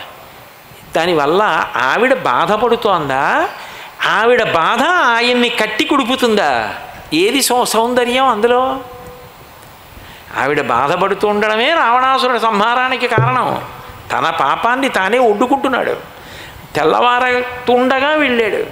వెళ్ళి సీతమ్మ ముందు నించున్నాడు. మించుని సీతమ్మను ఉద్దేశించి మాట్లాడకూడని మాటలు మాట్లాడుతున్నాడు. స్వధర్మో రక్షసాం భీరు సర్వధైవన సంశయ గమనం వా పరస్త్రీణాం హరణం సంప్రమధ్యవా అన్నాడు. అంటే సీతమ్మ ఎప్పుడు రాముడి గురించి చెప్తుంది రాముడు ధర్మాత్ముడు అంటుంటుంది. అందుకని రావణాసురుడు వెళ్ళన్నాడు ఏమిటో సీతమ్మ రాముడు ధర్మాత్ముడు ధర్మాత్ముడు అంటావు. చూడు నేను కూడా ఎంత ధర్మాత్ముడు నేను రాక్షసుణ్ణి. రాక్షసుల ధర్మం ఏంటి వాళ్ళకి ఏది ఇష్టమైందో అది ఎత్తుకు రావాలి. పరుల యొక్క భార్య అయినా తాను ఇష్టపడితే ఎత్తుకొచ్చి బలాత్కరించి అనుభవించాలి అది రాక్షస ధర్మం. నేను నిన్ను ఎత్తుకు రావడం నిన్ను కోరుకోవడం ఎంత ధర్మం? ఎంత ధర్మాత్ముండి? మరి నేను ధర్మాత్ముండి కానంటామేమిటి అంటే జ్ఞాన కలునిలోని శారదయువులే అంటారు పోతన గారు చదువు లేనివాడు అమాయకుడు తప్పు మాట్లాడితే చెప్పి దిద్దచ్చు. అన్నీ తెలుసున్నవాడే తనకున్న విద్యని తన తప్పుని సమర్థించుకోవడానికి మాట్లాడితే ఎవరు పాఠం ఆయనకి చెప్పగలరు? ఏమి తెలియదు రావణాసురుడికి? తను రాక్షసుడా విశ్రవసో బ్రహ్మ యొక్క కుమారుడు పులశ్చ బ్రహ్మ యొక్క మనవడు సాక్షాత్తు సృష్టికర్త చతుర్ముఖ బ్రహ్మ యొక్క మునిమనవడు. ఇటువంటి వాడు రాక్షస ధర్మాన్ని ఆశ్రయించి చెయ్యకూడని పనులు చేసి భ్రష్టుడై నేను స్వధర్మాన్ని పాటిస్తున్నానంటున్నాడు. ఎంత తప్పు మాట? స్వధర్మో రక్షసాం భీరు. ఇంత ధర్మాత్ముణ్ణి చూసి సంతోషపడాలి కానీ భయపడతాయేమిటి ఏ తల్లి ఆదిశక్తో ఎవరిని చూసి భయాన్ని పోగొట్టుకుంటారో ఆవిడ్ని చూసి ఓ పిరికిదానా అని పిలిచాడు. ఎంత పాపం పొద్దున్నే. సర స్వధర్మో రక్షసాం భీరు సర్వదైవన సంశయ. గమనం వా పరస్త్రీణాం హరణం సంప్రమధ్యవా. పరస్త్రీలని అపహరించడం బలాత్కరించడం అనుభవించడం మాకు స్వధర్మం. నేను అందుకని చేశాను అందులో ఏమిటి తప్పు? కాబట్టి అందులో ఏమీ తప్పు లేదు. కాబట్టి గమనం వా పరస్త్రీణాం హరణం సంప్రమధ్యమ. ఇదంతే చారు సంజాతే యవ్వనం వ్యతివర్తతే యతతీతం పునర్నైతి శ్రోత శీఘ్రమపామివా సీత ఇవాళ నేనేదో నీ వెంట పడుతున్నానని నువ్వు బెట్టు చేస్తున్నావు. యవ్వనం వెళ్ళిపోతున్న నదీ ప్రవాహం లాంటిది. అదేం ఉండదు. వెళ్ళిపోయిన నదీ ప్రవాహం వెనక్కి ఎలా రాదో కాలంలో యవ్వనం కూడా క్షీణించిపోతుంది. పోయినప్పుడు సంధిబంధములు సడలిపోతాయి. అప్పుడు నీ మీద నాకు అనురక్తి ఎందుకుంటుంది? యవ్వనం ఉండగా నేను నిన్ను బోహించినప్పుడు నువ్వు దాన్ని సార్థక్యం చేసుకోవాలి. ఎటువంటి మాటలు ఎవరిని ఉద్దేశించి మాట్లాడుతున్నాడు? ఏ పతివ్రతతో మాట్లాడుతున్నాడు? ఆవిడ ఎంత బాధపడుతుందో ఆ మాటలకి తెలుసుకుంటున్నాడా? అవి చిట్ట చివరికి తనకి ఏం మిగల్చాయి. ఆయనకి మిగల్చింది ఏమీ లేదు. మొత్తం లంకతో కలిపి నశించిపోయాడు. అంటే సీతమ్మ యొక్క పతివ్రత ధర్మం. ఇన్ని మాటలు మాట్లాడుతున్న ఓర్చగలిగిన ఆమె ఓర్పు సీతాయాశ్చరితం మహత్ అదిరా సీతమ్మ కథ. అలా ఆవిడ కూర్చోకపోతే వీడు మరణించేవాడురా. కాబట్టి ఏవం చైతత కామాంతో నత్వాం స్పృక్షామి మైథిలి కామం కామశరీరం మే యథాకామం ప్రవర్తితాం అంటాడు. సీతా చూడు నేను ఎంత మంచివాణ్ణో. నిజానికి నీ మీద నాకు అంత అనురక్తి ఉన్నా నేను బలవంతంగా నిన్ను స్పృశించట్లేదు. నీవు నాయందు అనురక్తుడవైన తర్వాతే నిన్ను నేను భోగించాలనుకుంటున్నాను. ఎంత మంచివాణ్ణి అంటాడు. అసలు రహస్యం చతుర్ముఖ బ్రహ్మగారి శాపం ఉంది. నువ్వు కానీ నీ ఎందు మనసు లేని స్త్రీ జోలికి వెడితే నీ తలలు వెయ్యి వ్రక్కలైపోతాయని శపించారు ఒక సందర్భంలో రా బ్రహ్మగారు. అందుకని వెళ్ళలేడు. భయం. అది చెప్పకుండా ఇలా అబద్ధం చెప్పి బుకాయిస్తాడు బుకాయిస్తూ అంత గొప్ప తల్లిని ఉద్దేశించి ఏకవేణి ధరాశయ్యాం ధ్యానం మలిదవంబరం మస్తానే ఉపవాసస్య నైతాన ఉపైకానితే. ఏకవేణి ఇంటి ఒంటి జడ వేసుకోవడం ఏమిటి? ధరాశయ్యాం ఎందుకు భూమి మీద పడుకుంటావు? ఏకవేణి ధరాశయ్యాం ధ్యానం మలినమంబరం ధ్యానం చేయడం ఏమిటి? రాముడి గురించి. ఈ మలినమైన బట్ట కట్టుకోవడం ఏమిటి? ఈ ఉపవాసం చేయడం ఏమిటి? నైతా నౌపైకానితే చెయ్యకూడని పనులు స్మా? పిబ విహర రమస్వ పుంక్ష్వ భోగాం ధననిచయం ప్రదిశామి మేదినీంచ మయి లల లలనే యథాసుఖత్వం తైచ సమేత్వ లలంతు బాంధవాస్తే. తిను త్రాగు హాయిగా అనుభవించు. ఎంత ఐశ్వర్యం ఎంతమందిని ఓడించి తీసుకొచ్చాను అవన్నీ నీవిగా అనుభవించు. మీ బంధువులకు భూమి ఇస్తాను ధనం ఇస్తాను ఎవరితో మాట్లాడుతున్నాడు? ఆవిడ స్త్రీ ఆవిడ కను చూపు ఆవిడ ఒక్కసారి కడిగ కడగంట చూపు చూస్తే చాలు మహదైశ్వర్యం వస్తుంది. అటువంటి తల్లిని ఉద్దేశించి అంటున్న మాటలు ఏమి అభ్యున్నతిని చేకూరుస్తాయి? ఏ విధంగా బాగుపడతాడు? అంటే అటువంటి మహాపతివ్రతతో మాట్లాడిన మాటలే ఆయనని కాల్చేసాయి ఆయన చనిపోవడానికి కారణమయ్యాయి అయితే రావణ ప్రసంగం గురించి నేను మాట్లాడడం ఎందుకు అంటే ఈ మాటలు మాట్లాడడం ఆయన అనుకుంటున్నాడు నేను బాగా మాట్లాడుతున్నానని అనుకుంటున్నాడు. కానీ ఆయన తన మృత్యువుని వండుకుంటున్నానని తెలుసుకోలేకపోయాడు. ఆ మాట గుర్తొస్తే ఏమవుతుందంటే ఆవిడ ఆ ఒక్కరోజు కాదు ఎప్పుడూ ఏడవడానికి కారణం అదేయింది ఒక మహాపతివ్రత ఎప్పుడూ అదే గుర్తొచ్చి ఏడుస్తూ ఉంటే ఇంకా అంతకన్నా మంచి వంట ఆయన ఏం వండుకోవాలి చచ్చిపోవడానికి? ఇప్పుడు నిజానికి ఎవరు కారకులు రావణ సంహారానికి? సీతమ్మే. అందుకన్నారు హనుమ అబ్బే రాముడు వెళ్ళి బాణం వేయడమే సీతమ్మ ఎప్పుడూ చంపేసింది రావణాసురుణ్ణి అన్నారు. ఆమె తేజస్సు చేత చంపేసింది అన్నారు. కాబట్టి ఇన్ని మాటలు మాట్లాడాడు. కానీ ఆ తల్లి పాతివ్రత్యం ఆ తల్లి అప్పుడు ఎటువంటి స్థితిలో ఉన్నది అంటే ఆమె చింతయంతీం వరారూహాం పతి పతిమే పతివ్రత. ఆవిడ ఉత్తమమైనటువంటి ముఖంతో అంటే ఆయన అలా మాట్లాడుతున్నాడని పాడైపోతున్నాడే అని బిడ్డ మీద తల్లికుండే బాధ తప్ప ఆమెకి ఆక్రోశం లేదు. భర్తనే మనసులో స్మరిస్తూ ధ్యానంలో ఉన్న మహాపతివ్రత తృణమంతరత కృత్వా ప్రత్యువాచ శుతి శుచిస్మిత నివర్తయ మనోమర్త స్వజనే క్రియతాం మనః. ఇది ఆవిడ యొక్క గొప్పతనం. ఆవిడ ఒక గడ్డి పరక తీసి తనకి రావణుడికి మధ్యలో పెట్టింది. పెట్టి మాట్లాడుతోందట. ఎందుకు గడ్డి పరక పెట్టడం ఎందుకు? అంటే తన భర్త తన పక్కన లేడు. తన భర్త తన పక్కన లేనప్పుడు తన పట్ల కామమోహితుడైన ఒక దుర్మార్గుడు తనతో మాట్లాడుతున్నాడు. ఇద్దరికీ మధ్య ఏదో ఒక అడ్డు లేకుండా మాట్లాడకూడదు. అప్పుడు ఆవిడ పెట్టగలిగింది లేదు. అందుకని ఆవిడ గడ్డి పరకని మధ్యలో పెట్టింది. అంతేకాదు దాని అర్థం రావణ గడ్డి పరకనైనా ముట్టుకుంటానేమో కానీ నిన్ను మాత్రం నేను ముట్టుకోను. ఇది నువ్వు అర్థం చేసుకో అని చెప్పడానికి గడ్డి పరకని పెట్టింది. అంతేకాదు గడ్డి పరక తక్కువ అని అనుకోకూడదు. వేదంలో గడ్డి పరకల గురించి మంత్రం ఉంది. సహస్రపరమాదేవి శతమూల శతాంకుర సర్వగం హరతుమే దూర్వాదు స్వప్ననాశిని. విఘ్నేశ్వరుడికి గరిక పూజ చేస్తారు అందుకే. ఆ గడ్డి పరకని ముట్టుకున్నారనుకోండి సహస్రపరమాదేవి శతమూల శతాంకుర గరికి పాకేటప్పుడు ఏం చేస్తుందంటే వేర్లు పెడుతుంది. మళ్ళీ ముందుకెడుతుంది మళ్ళీ వేర్లెడుతుంది మళ్ళీ ముందుకెడుతుంది. కాండాత్ కాండాత్ పరోహంసి అంటారు. అది వేర్లు పెడుతుంది ముందుకెడుతుంది. మళ్ళీ వేర్లు ఎడుతుంది మళ్ళీ ముందుకెడుతుంది. ఆ గరికని ముట్టుకున్నంత మాత్రం చేత దోషం పోతుందని. అందుకని నీ వంటి దుర్మార్గుడు కామమోహితుడు పరపురుషుడు రాక్షసుడు భర్త లేనప్పుడు కామమోహితుడై నన్ను చూస్తూ మాట్లాడుతుంటే జవాబు చెప్పవలసిన అగత్యం కలిగినందుకు ఆ పాపం పోవడానికి నేను గడ్డి పరకని ముట్టుకుని మాట్లాడుతున్నాను. ఏమి పాతివ్రత్యం ఆ తల్లిది? సహస్ అందుకని తృణమంతరత కృత్వా అంతేకాదు ఈ గడ్డి పరకని తృణం అంటారు. అన్నిటికన్నా చులకన ఎవరు అంటే గడ్డి పరక. గాలిస్తే ఎగిరిపోతుంది. నువ్వు ఎంత గొప్పవాడవైనా కావచ్చు మహాపతివ్రతని ఎత్తుకొచ్చి బంధించిన ఎందు కామమోహితుడవయ్యావే దాని చేత గడ్డి పరకతో సమానమయ్యా. గుర్తుపెట్టుకో అని చెప్పడానికి గడ్డి పరకని పెట్టింది. ఇన్ని కారణముల చేత తృణమంతరత కృత్వా ప్రత్యువాచ శుచిస్మిత.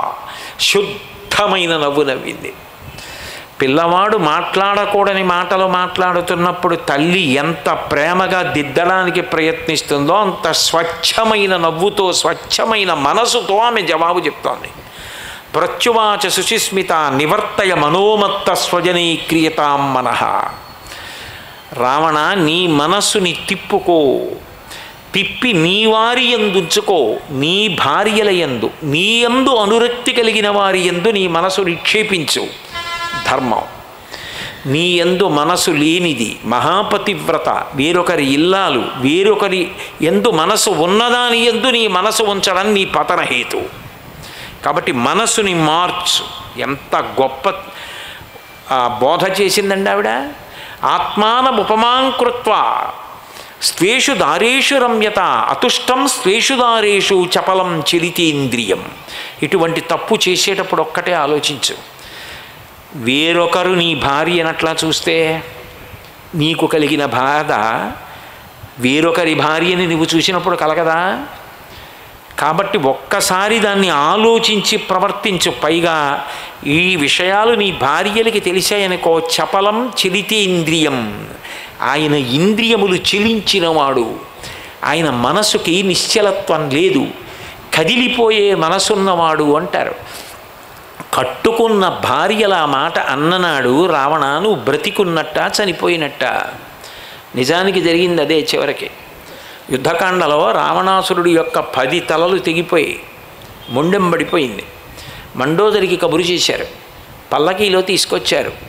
రామ లక్ష్మణ హనుమలు అక్కడ నిలబడి ఉన్నారు. అందరు అనుకున్నారు మహాపతివ్రత మండోదరి ఈ రావణాసురుడి యొక్క శరీరాన్ని చూసి తట్టుకోలేదు. ఆ చెట్టు క్రింద నించుని ఉన్నటువంటి రాముణ్ణి చూసి ఖచ్చితంగా నింద చేస్తుంది అనుకున్నారు. ఆవిడ వచ్చి రావణాసురుడి యొక్క శరీరాన్ని ఒడిలో పెట్టుకొని అంది నేను ఇది నీకు ఎప్పుడో చెప్పాను. అందరూ అనుకుంటున్నారు రాముడు నిన్ను చంపాడు అనుకుంటున్నారు. కానీ నాకు తెలుసు రావణ నిన్ను చంపింది రాముడు కాదు. నిన్ను చంపింది నీ ఇంద్రియములే. నీ ఇంద్రియములు చంపేశాయి. ఎందుకని? ఇంద్రియాణి పురాజిత్వ జిత్వం జితం త్రిభువనంత్వయ. స్మరద్భిరివతద్వైరం ఇంద్రియైరేవ నిర్జిత. నేను ఇలా మాట్లాడుతుండగా ఓ పెద్ద త్రాచుపం ఇలా ఎక్కొచ్చేసింది అనుకోండి నేను తెలియకుండా కాలెత్తి చటుక్కని దాని తల మీద పెట్టాను అనుకోండి ఇప్పుడు అది నన్ను కరవలేదు. ఎందుకంటే దాని తల నా పాదం కింద ఉంది అది తల ఎత్తలేదు కాబట్టి కరవదు. కానీ వెనక శరీరం తీసి నన్ను చుడుతూ ఉంటుంది. అదనుకుంటుంది పాదం ఎత్తాడో కరుద్దామని చూస్తుంటుంది. పాదం ఎత్తకుండా దాన్ని అలాగే ఉంచి ఎలాగైనా ప్రమాదం తప్పించుకోవాలని నేను చూస్తుంటాను. ఎప్పుడో అప్పుడు తప్పక నేను పాదం కొంచెం కదిపాను అనుకోండి భయంతో అది నన్ను కాటేసేస్తుంది. ఒకనొక నాడు నువ్వు కోరికలు తీర్చుకోవడానికి తపస్సు చేసినప్పుడు ఇంద్రియములను బలము బలవంతంగా నిగ్రహించావు. అవి పగపట్టాయి. అదును చూసి కాటు వేస్తానన్నాయి. తపస్సు పూర్తి చేసి వచ్చావు. నీ ఇంద్రియములు కాట్లు వేశాయి. లేకపోతే నాలో లేని ఏ సౌందర్యం నీకు? సీతమ్మలో కనపడిందిరా దుర్మార్గుడా. రాముడు కాదురా నిన్ను చంపింది. నీ ఇంద్రియముల చేతిలో నువ్వు చచ్చిపోయావు అంది. ఇదే చెప్పింది సీతమ్మ. చిట్ట చివర నీ భార్య చేత ఆ మాట అనిపించుకున్న నాడు నీ జన్మ జన్మ కాదు. ఎంత గొప్పవాడివైనా కావచ్చు ఇంద్రియములను నిగ్రహించు నీ ఎందు అనురక్త కాదు ఆమె. మహాపతివ్రత. ఆమె జో రాకు. నిష్కారణంగా పాడైపోతావు. ఆత్మానముపమాంకృత్వ స్వేషు దారీషు రమ్యత. అతుష్టం స్వేషు దారీషు చపలం చిలితేంద్రియం. వధంఛామిచ్చితాఘోరం తయాసౌ పురుషర్షభ. విదితస్సహి ధర్మజ్ఞ శరణాగత వత్సల నా మాట విను. మామూలుగా చచ్చిపోవు. మామూలుగా మరణిస్తే దాని దారి వేరు.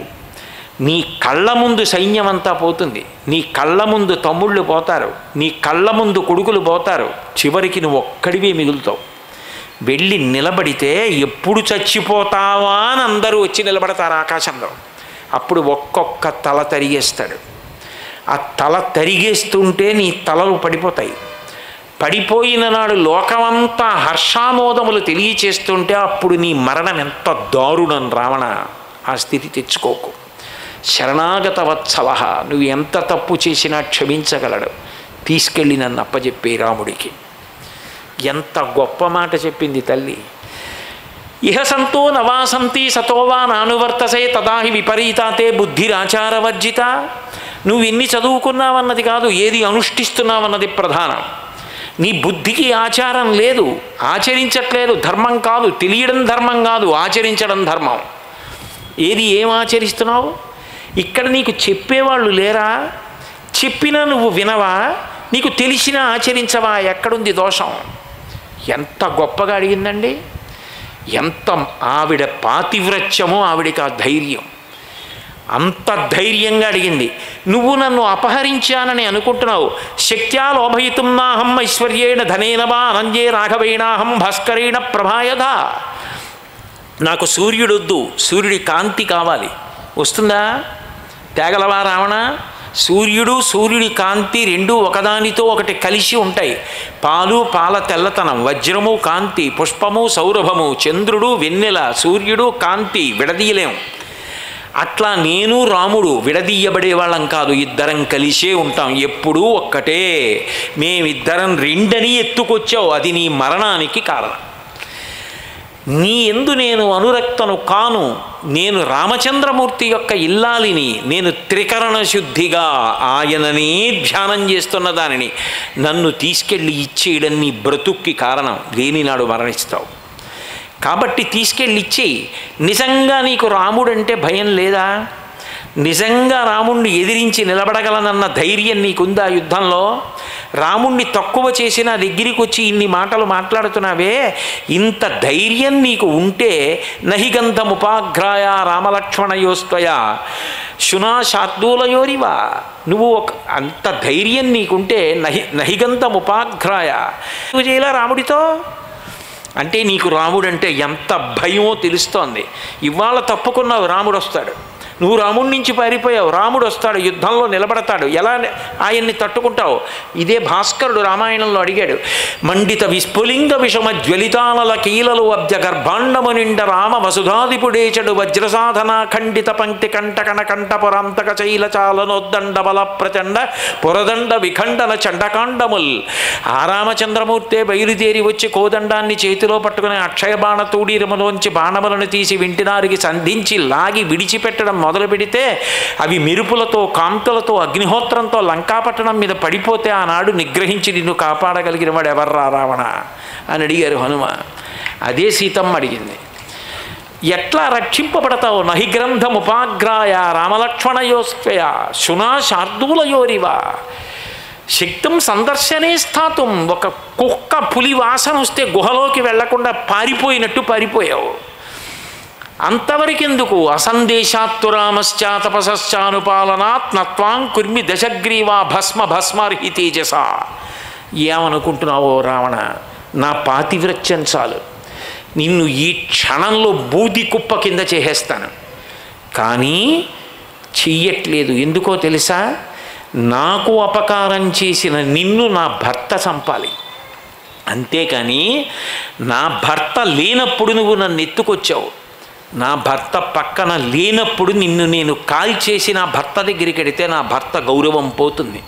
ఆయన రక్షించలేకపోతే నన్ను నేను రక్షించుకున్నానన్న మాట వస్తుంది. అందుకుని ఓర్పు పడుతున్నాను. రాముడు వచ్చి నిన్ను చంపేస్తాడు. నిన్ను చంపలేక కాదు రాముడి ఆజ్ఞ లేదు చంపేసి రా అని రాముడు ఒక్క మాట అంటే నిన్ను బూది కుప్పం చేసేస్తాను. అసందీశాత్తురామశ్చా తపసశ్చానుపాలనాత్ నత్వాం కుర్మి దశగ్రీవా భస్మ భస్మార్హి తేజస. అంతవరకు రాక్షసాధమా రామస్య భార్య అమిత తేజస ఉక్తవానసి యత్పాపం క్వగతస్య మోక్షసే మహాపతివ్రతని రామచంద్రమూర్తి ఇల్లాలిని అటువంటి నా దగ్గరికి వచ్చి అనకూడని మాటలు ఇన్ని మాట్లాడేవే? భగవంతుడిచ్చిన ఊపిరి ఆయుర్దాయం. ఆ ఊపిరిని మాటగా మార్చావు. మార్చినప్పుడు ఏం చేశావు? ఏ మాటలు మాట్లాడకూడదో ఆ మాటలన్నీ మాట్లాడావు. ఇప్పుడు ఆ పాపం ఎక్కడికి పోతుంది? అనేసిన మాట పాపం ఎక్కడికి పోతుంది? అది పోదు. అది నువ్వు ఎక్కడికి పోయినా నీ వెంట వస్తుంది. ఆ పాపమే నీ మృత్యువుకి కారణమవుతుంది. నన్నన్న మాటలే. రాక్షసాధమా రామస్య భార్య అమిత తేజస ఉక్తమానసియత్పాపం పగతస్తస్య మోక్షసే. అంతవరకెందుకు? నాపహర్తుమహం శక్య.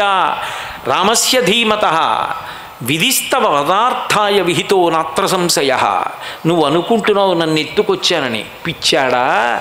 నువ్వు చచ్చిపోవడానికి నీకు ఇంత తపస్సుంది కారణం ఉండాలి కదరా. నువ్వు చచ్చిపోవడానికి తగినంత పాపం ఉండాలి. నన్ను ముట్టుకున్నావు పట్టుకొచ్చావు ఎత్తుకొచ్చి ఇక్కడ పెట్టావు అనకూడని మాటలు అంటున్నావు నా దుఃఖానికి కారణమయ్యావు. ఇంత పాపం మూట కట్టుకుంటే తప్ప రాముడి బాణాల నుంచి నీ తేజస్సు నిన్ను కాపాడలేదు. అందుకని నువ్వు మరణించడానికి తగిన వంట వండుకుంటున్నావు. ఇది నీకు తెలియక విధి నిన్ను చంపడానికే నీకు ఈ ఆలోచన ఇచ్చాడని తెలియక నన్ను పట్టుకొచ్చావు. ఇప్పటికైనా నా మాట విను. నన్ను తీసుకెళ్ళి రామచంద్రమూర్తి యొక్క పాదార విందమలయం ఎందు సమర్పించి కృతకృత్యుడవుకా అంది. ఏమి మహాపతివ్రత? ఆమె ఎందు ఏ విధమైనటువంటి సందిగ్ధత కానీ అవతల వారిని ప్రలోభ పెట్టడం కానీ మాయ చేసి రావణాసురుణ్ణి సంహరించేటటువంటి పద్ధతి కానీ లేదు. ఉన్న మాట ఉన్నట్టు కన్న తల్లిగా ఆమె చెప్పింది. వినకపోవడం రావణాసురుడి తప్పు. అంత ఓర్పు పట్టగలగడం అంత బాధపడగలగడం అయినా కూడా అవతల వాడికి అవకాశం ఇచ్చి భగవంతుడు ఎలా అవకాశం ఇస్తాడో అలా మారడానికి అవకాశాన్ని తన బోధ ద్వారా కల్పించగలిగిన శక్తి సీతమ్మ పొంది ఉండడం ఎంత అద్భుతమైన విషయం. అది ఆనాడు కాదు ఈనాటికి ఏనాటికి లోకానికి అంతే సందేశం. అటువంటి మాటలు అమృతతుల్యమైనవి మాట్లాడిన సీతమ్మ గొప్పతనం ఏమని చెప్పగలం? అందుకే సీతాయాశ్చరితం మహత్ సీతమ్మ కథ. అంత ధైర్యంగా అంత గొప్పగా మాట్లాడింది. అందుకే ఈ మాట సీతమ్మ విషయంలో సీతమ్మ చెప్పడం కాదు. ఆమె పాతివ్రత్యాన్ని ఆమె నిరూపణం చేసి చూపించుకుంది. రామాయణానికి ఉన్న గొప్పతనం అదే. నేను పతివ్రత నేను పతివ్రత అని ఆవిడండం ఆవిడ పతివ్రత అని ఎవరో అండం కాదు. ఆమె పతివ్రత అని ఆమె నిరూపించుకుంది ఒక చోట. ఎక్కడ నిరూపించుకుంది అంటే హనుమ యొక్క తోకకి నిప్పు పెట్టడానికి ముందు హనుమ ఆమెతో శిశుపావృక్షం మీద కూర్చుని మాట్లాడారు. వేష్టితార్జున వస్త్రంతం విద్యుత్ సంఘాత పింగళం. మాట్లాడుతుంటే ఆమె ఆయనతో మాట్లాడిన తర్వాత రాక్షస స్త్రీలు వచ్చి అడిగారు ఎవరా కోతి నీతో కిచకిచలాడుతూ మాట్లాడిందని? ఆవిడంది యూ యూయమేనాభిజానాతి యోయం యద్వాకరిష్యతి కరిష్యతి హ్యహే పాదాన్ విజానాతి సంశయ అంది. పాము కాళ్ళు పాముకి తెలియాలి. పాము కాళ్ళు ఉన్నాయో లేదో ఎవడైనా తోక పట్టుకుని పైకెత్తి చూస్తాడా ఎవడు చూడ పాము కాళ్ళు ఉంటాయో ఉండవో పక్క పాముకి తెలియాలి. మీరే రాక్షసులు. లంకలోకి ఎవరొచ్చారో మీకు తెలియాలి. నాకేం తెలిసింది. అబద్ధం అనలేదా అంటే తన కోసం ప్రాణాలకి తెగించి వచ్చిన వాడి ప్రాణములు కాపాడడం ప్రథమ ధర్మం. అందుకని ఆవిడ ఎట్లా చెప్పింది. ఆయన తోకకి నిప్పు పెట్టారు. నీతో కిచకిచలాడింది ఎవరు అంటే మాకు చెప్పలేదు కదా. పావు పాదాలు పావుకి తెలియాలన్నావు కదా. ఇప్పుడు ఆ వానరానికి తోక కాలిపోతోంది. లంకంతా తిప్పుతున్నారు. ఊరిరిగింపు చేస్తున్నారని చెప్పారు రాక్షస స్త్రీలు. వెంటనే ఆవిడంది యజ్జస్తి పరుశుశ్రూషాం యజ్జస్తి తరితంతప యది చాస్త్వేకపత్నిత్వం సీతోభవ హనూమత యది కించిదనుక్రోశస్తస్య మయ్యస్తి ధీమత యది మా భాగ్యశో భాగ్యశేషో మే సీతోభవ హనుమత యది మాం గాంధార్య సుగ్రీవ సత్యసంధత. ఆవిడ హనుమ యొక్క తోక చల్లబడుగాక అగ్ని చల్లగా ఉండడం అన్నది లోకంలో ఎక్కడా ఉండదు కదా. అగ్ని యొక్క ధర్మం ఏమిటి? కాల్చేయడం. కాల్చేయవలసిన అగ్ని కాల్చకుండా చల్లగా ఉండాలంటోంది. ఎప్పుడు తన పాతివ్రత్యాన్ని అడ్డు పెట్టి చెప్పింది యజ్జస్తి పతుశుశ్రూషాం యజ్జస్తి చరితం తప యదివా భాగ్యశోషోమే నేను కాని పతివ్రతనైతే. నాకు మనసులో రాముడు తప్ప అన్యపురుషుల మీద ఎన్నడూ వ్యామోహము లేనిదాననైతే రామచంద్రమూర్తి యొక్క సేవయే చేసిన దాననైతే ఎదికించిదనుక్రోశస్తస్య మయ్యస్తి ధీమత యదివా భాగ్యశేషో మే సీతో భవ నీ రాముడికి నా మీద ప్రేమ ఉన్నమాట నిజమైతే నాకు భాగ్యం ఇంకా మిగిలి ఉంటే యదిమాం వృత్త సంపన్నాం తత్ సమాగమలాలసాం సీతో భవ హనూమత వృత్త సంపన్నాం నేను మంచి నడవడి కలిగిన దాననైతే ఎప్పుడూ నేను సౌశీల్యముతో ప్రవర్తించిన దాననైతే హనుమతోకకు పెట్టిన అగ్ని చల్లబడుగాక అంది. చల్లబడిపోయింది. ఆయన ఆశ్చర్యపోయారు. అథవా చారు సర్వాంగీ రక్షిత శానితేజస ననశిష్యతి కళ్యాణి అగ్నిరగ్నౌ ప్రవర్తతే అన్నారు. సముద్రం దగ్గరికి వెళ్ళి తన తోక నిప్పు చల్లార్చుకుని వెనక్కి చూస్తే లంకంతా కాలిపోతోంది. అయ్యో ఎంత పని చేశాను? క్రుద్ధ పాపం నకుర్యాత్త క్రుద్ధో హన్యాత్ గురూణపి క్రుద్ధ పరుషయావాచ నరం సాధు నదీక్షిపేత్. ధన్యాస్తే పురుషశ్రేష్టా ఏ బుద్ధ్యా కోపముద్దితం నిరుంధంతి మహాత్మానో దీప్తమగ్ని వివాంబస కోపం వచ్చినవాడు ఏ తప్పు చేయడు. లంక కాల్చేశాను. లంకలో అశోకవనం ఉంది. సీతమ్మ కూడా కాలిపోయి ఉంటుంది అనుకున్నారు అనుకుని వెంటనే అన్నారు అథమా చారు సర్వాంగి రక్షిత శానితేజ సహా ననశిష్యతి కళ్యాణి అగ్నిరగ్నౌ ప్రవర్తతే. లోకంలో ఎక్కడైనా అగ్ని అగ్నిని కాలుస్తుందా? ఏ తల్లి పాతివ్రత్య మహిమ నాకు తోక చ కాలిపోకుండా చల్లబడేటట్టు ఉంచిందో ఆ తల్లిని అగ్నిహోత్రం చెనకుతుందా? ఒక్క దూకు దూకి అశోకవనంలోకి వెళ్ళారు సీతమ్మ అట్లాగే ఉంది. అది ఆమె పాతివ్రత్యం యొక్క గొప్పతనం. తన పాతివ్రత్యాన్ని తానే నిరూపించుకుంది సీతమ్మ హనుమని రక్షించినటువంటి సందర్భంలో. అంత గొప్ప తల్లి అంతవరకు ఎందుకండి నిరంతరం ఆమెకి రాముడి గురించిన ఆలోచనే. ఒకనకొకప్పుడు సుందరకాండలోనే సీతమ్మ దగ్గరికి వెళ్ళి హనుమ ఒక మాట అన్నారు అమ్మ నువ్వు ఊ అను నిన్ను నా భుజాల మీద కూర్చోపెట్టుకుని ఇక్కడి నుంచి తీసుకెళ్ళి ప్రసరవణ పర్వత శిఖరముల మీద కూర్చుని ఉన్నటువంటి రామచంద్రమూర్తికి సమర్పిస్తానమ్మా అన్నారు. అంటే సీతమ్మ పక్కున నవ్వు నవ్వి నువ్వే పిల్లి పిల్లంత ఉన్నావు. ఎందుకని? అప్పటికి హనుమ రాత్రి సీతాన్వేషణం చేయడానికి శరీరాన్ని సంక్షిప్తం చేసి పిల్లి పిల్లంత అయిపోయారు సూర్యే చాస్తం గతే రాత్రో దేహం సంక్షిప్య మారుతి వృషదం చకమాత్ర సన్ బభువా అద్భుత దర్శన అన్నారు మహర్షి.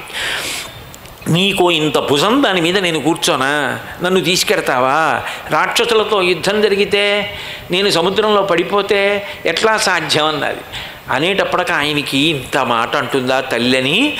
మీరు మందర సంకాశౌ బభౌదీప్తానల ప్రభ అగ్రత వ్యవతస్తేచ సీతాయా వానరోత్తమ. మీరు పర్వతం మందర పర్వతం యొక్క శిఖరాలు ఎలా ఉంటాయో అలా పెరిగిపోయి సీతమ్మ ముందు నించున్నారు. అమ్మ ఇప్పుడు చూసావా నా భీమరూపం అంటే ఏమిటో? వచ్చిన భుజం మీద కూర్చో అమ్మా. నిన్ను తీసుకెళ్ళి ఎట్లా ఇస్తానో తెలుసా? హవ్ హవ్యంహుతమివానల అగ్నిహోత్రుడిలో వేసిన హవ్యం అపవిత్రం కాకుండా దేవతలకు ఎలా పట్టుకెళ్ళి ఇస్తాడో అలా నిన్ను తీసుకెళ్ళి రామచంద్రమూర్తికి సమర్పిస్తానన్నారు. ఆవిడంది భక్తి భక్ భక్తి భక్తిం పరుస్ పురస్కృత్య రామధన్యస్య వానర నస్పృశామి శరీరంతో పుంసో వానర పుంగవ. నువ్వు నాకు పుత్రసదృశుడివే కావచ్చు. రామలక్ష్మ రామలక్ష్మణులు ఇద్దరూ లేనప్పుడు రావణాసురుడు నన్ను ఎత్తుకొచ్చాడు. అప్పుడు నాకు స్పృహ లేదు. హారామ హాలక్ష్మణ అంటుండగా ఎత్తుకొచ్చాడు. ఇప్పుడు స్పృహలో ఉండి రాముడు రాకముందు నేను నీతో కలిసి వచ్చేస్తే రాముడు చేత కానివాడు హనుమ తీసుకెళ్ళి రాముడికి సమర్పించారంటుంది. నా భర్త గౌరవం కన్నా నాకు నా ప్రాణములు గొప్పవు కావు. నా భర్త రావాలి రావణాసురుణ్ణి సంహరించాలి నన్ను తీసుకెళ్ళాలి నా భర్త కీర్తి ప్రతిష్టలు నిలబెట్టాలి. అందుకని నేను రా రాను నీ భుజం మీద కూర్చోను ముట్టుకోనంది. భర్తుభక్తిం పురస్కృత్య రామధన్యస్య వానర న శరీరం తు పుంసో వానర పొంగవ. యుక్తరూపం స్వయాదేవి భాషితం శుభదర్శనం ఎవరనగలరమ్మా ఈ మాట మహాపతివ్రతవి. ఇంత కష్టంలో ఉండి కూడా తీసుకెడతానంటే నా భర్త గౌరవం నిలబడాలని నిలబడిన తల్లివి నువ్వే. అందుకనమ్మా నీ భర్త కీర్తికి కారణం సీతమ్మ నువ్వే అవుతావు కాబట్టి సీతాయా చరితమ్మ మహత్ అందుకు సీతమ్మ కథ ఆవిడే వెళ్ళిపోయి ఉంటుంటే రామకథ ఏమై ఉండుండేది? కాబట్టి అంత గొప్ప తల్లి అటువంటి మహాపతివ్రత మారీచుడు రావణాసురుడితో మాట్లాడుతూ ఇదే అంటాడు. సులభా పురుషారాజన్ సతతం ప్రియమాదిన అప్రియస్యతు పద్యస్య వక్త శ్రోతా దుర్లభ. లోకంలో అవతలవాడితో మనకి ఎందుకు వచ్చిన గొడవ? వాడిని పొగిడేస్తే ఓ గొడవ అయిపోతుంది. అని చెప్పి అయ్యో మీరు చాలా మంచివారండి అదండి ఇదండి అంటే పోయే అని మాట్లాడతారు. కానీ మనం వృద్ధిలోకి రావాలని కఠినంగా మాట్లాడినా మన యొక్క హితము కోరి చెప్పేవాడు లోకంలో ఎక్కడో ఒక్కడే ఉంటాడు. ఆ మాట వినేవాడు ఉండడు.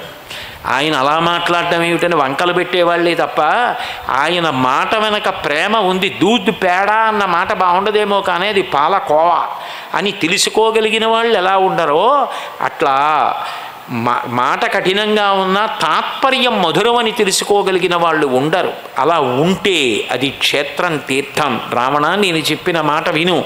సీతమ్మ జోలికెడుతున్నావు మహాపతివ్రత. ఏ పని చేయి రాముడికి కోపం రాదు. సీతమ్మను అపహరించావా? మామూలుగా నిన్ను వదిలిపెట్టడు.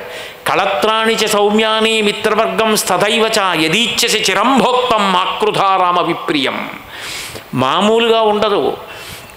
లంక లంకలో ఉన్న సైన్యం నీ సోదరులు నీ బంధువులు సమస్తం నశించిపోయి లంక బూది కుప్పైపోయి పది తలలు తెగి పడిపోతావు. నీ వారన్న వారిని అందరినీ చంపుకున్నవాడి అవుతావు. పది కాలాలు లంక ఏలుకో ఒక్క సీతమ్మ జోలికెళ్ళకు మహాపతివ్రత. ఆమె జోలికెడితే పాడైపోతావు అని చెప్పారు. విన్నాడా?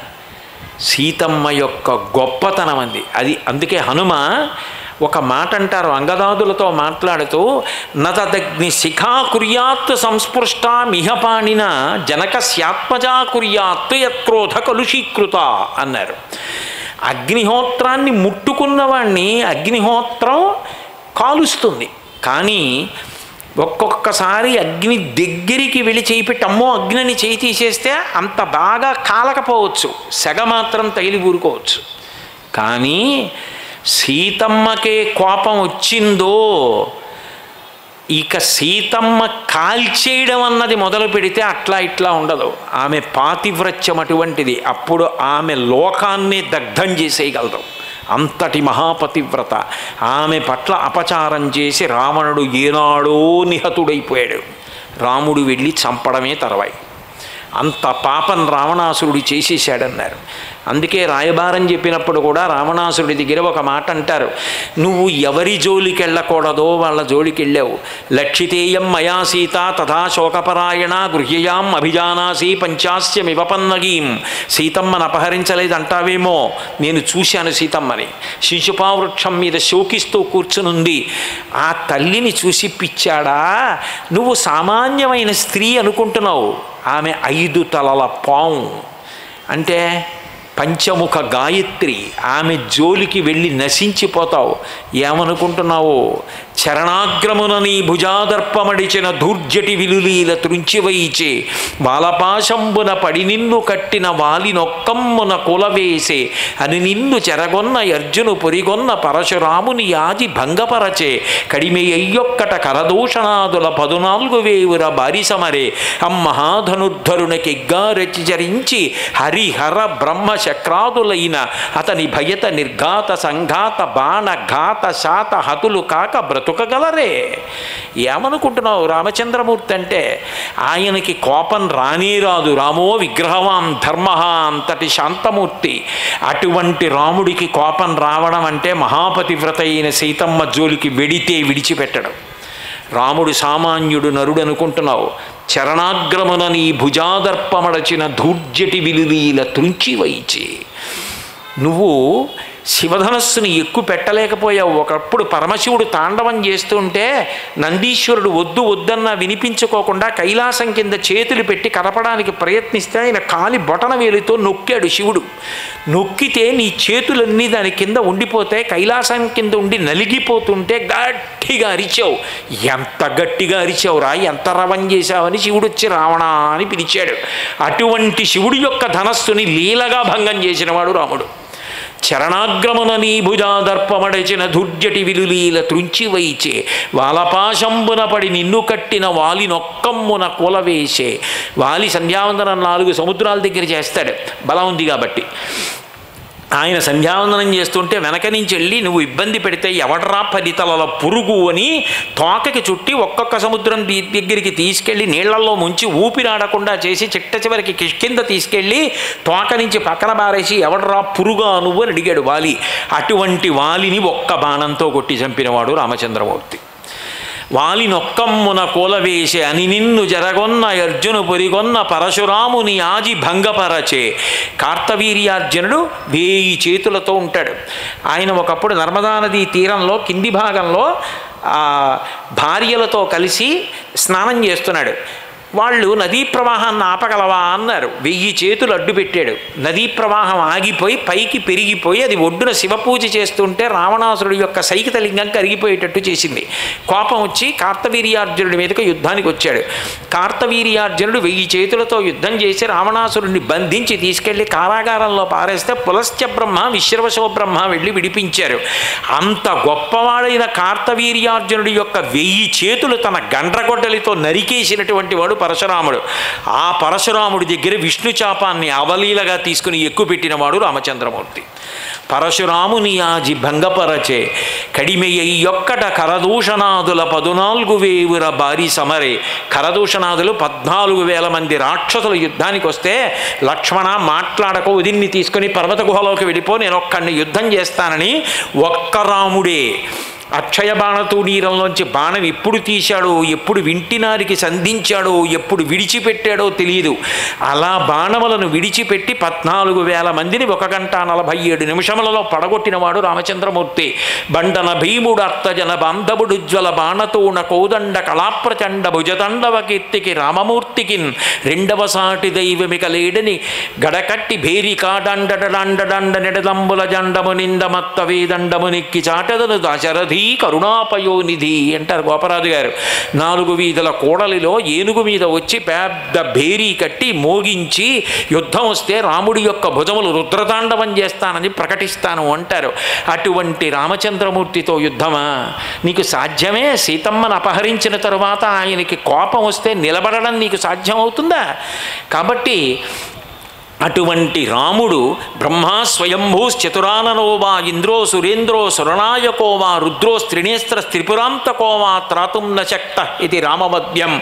రాముడు చంపేస్తానన్న తర్వాత బ్రహ్మ గాని ఇంద్రుడు కాని శివుడు కాని ఎవ్వరు అడ్డు రారు నిన్ను కాపాడరు. ఆయనకి కోపం రావడానికి కారణం సీతమ్మను అపహరించడమే సీతమ్మ జోలికెళ్ళకు నా మాట విను మాకృధ రామవిప్రియం. రాముడి జోలికెళ్ళి సీతమ్మ జోలికెళ్ళడం అంటే రాముణ్ణి రుద్రుణ్ణి చేయడమే శివుడిగా ఉంచు. ఆయనలో కోపాగ్నిని రగల్చకు. అంటూ ఒక మాట అంటారు అంతవరకు ఎందుకు రాముడు కూడా రావక్కర్లేదు. తలుచుకుంటే కేవలము నేనే నిన్ను చంపేస్తా అంటారు చంపేస్తానంటారు హనుమ. నీ శిరముల్ త్రుంపగ నేను చాలు జయ శ్రీలబ్ధి వర్ధిల్లగన్ ఎవరు ఆ సీతమ్మ అంటే ఏమనుకుంటున్నావు? నీకంఠర్పిత కాలపాశము శిరోనిర్ఘాత పాశంబు లంకౌక సంచయ కాళరాత్రి గళబద్ధోదగ్ర కాలాహి కన్యాకారాగత మృత్యువున్ జనక కన్యన్వేగ నొప్పించి లోకైకత్రాణుని రామునింకనువు నీకా బుద్ధి కాకుండినన్. సీతారాముల కోపానల శిఖలు కలయ బేర్చుచు లంకా భూతవ్రాతము భస్మీభూతముగా చేయుననుడు పొడమిన కిన్కన్. ఏమనుకుంటున్నావో సీతమ్మ అంటే నీ మెడలో వేసుకున్న యమపాశం నీ తల మీద పిడుగు పడుతున్న పిడుగు లంకని కాల్చేయడానికి సిద్ధపడుతున్న గొప్ప దావాగ్ని. ఆమె నీ పాలిట కంఠంలోకి నువ్వు త్రాగాలనుకుంటున్న విషం నీ కంఠాన్ని చుట్టుకున్న కాల నాగు నన్ను నమ్ము ఆమెని విడిచిపెట్టేశాయి. ఆమె జోలికి వెళ్ళావో తీవ్రత నీ మృత్యువుకి ఆవిడే కారణమవుతుంది. అంతటి మహాతల్లి సీతమ్మ అంతటి మహాపతివ్రత కాబట్టే రాముడి మాట వినేటప్పటికి రాముడి ఉంగరం చూసినా సరే రాముణ్ణి చూసినంత ఆనందపడిపోయింది. వానరోహం మహాభాగే దూతో రామస్య వానరోహం మహాభాగే దూతో రామస్య ధీమత. రామనామాంకితం చేదం పశ్యదే వ్యంగుళీయకం ప్రత్యయార్థంతవానీతం తేన దత్తం మహాత్మన. సమాశుచి భద్రంతే క్షీణ దుఃఖపలాహ్యసి. అమ్మా ఇది రామచంద్రమూర్తి యొక్క ఉంగరం. నేను వానరోహం మహాభాగే. నేను కేవలం వానరుణ్ణమ్మా అంటారు. ఎంత వినయో హనుమకి. దూతో రామస్య ధీమత. రామదూతనమ్మ రామనామాంకితం చేదం పశ్య దేవ్యంగుళీయకం ప్రత్యయార్థం తవానీతం తేన దత్తం మహాత్మన.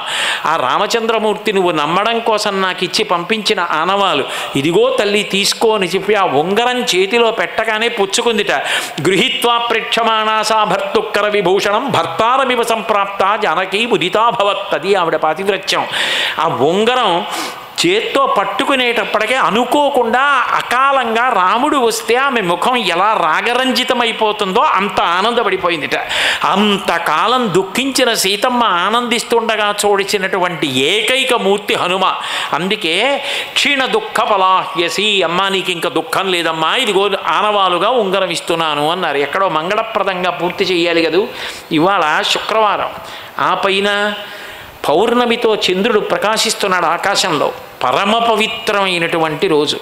ఇటువంటి తిథుల్లో ఇటువంటి రోజుల్లో సీతాయాశ్చరితం హత్ అన్న పేరుతో సీతమ్మ పాతివ్రత్యం గురించి చెప్పుకోవాలన్నా ఆవిడ గురించి వినాలన్నా పెట్టి పుట్టాలి. ఎంత భాగ్యం ఉంటే జరుగుతుంది? నిజానికి నాకేమీ చేత కాకపోయినా నేను చెప్పగలిగాను అంటే మీ వంటి మహాపుణ్యాత్ముల మధ్యలో కూర్చున్నాను కాబట్టి సీతమ్మ తల్లి నా చేత పలికించింది.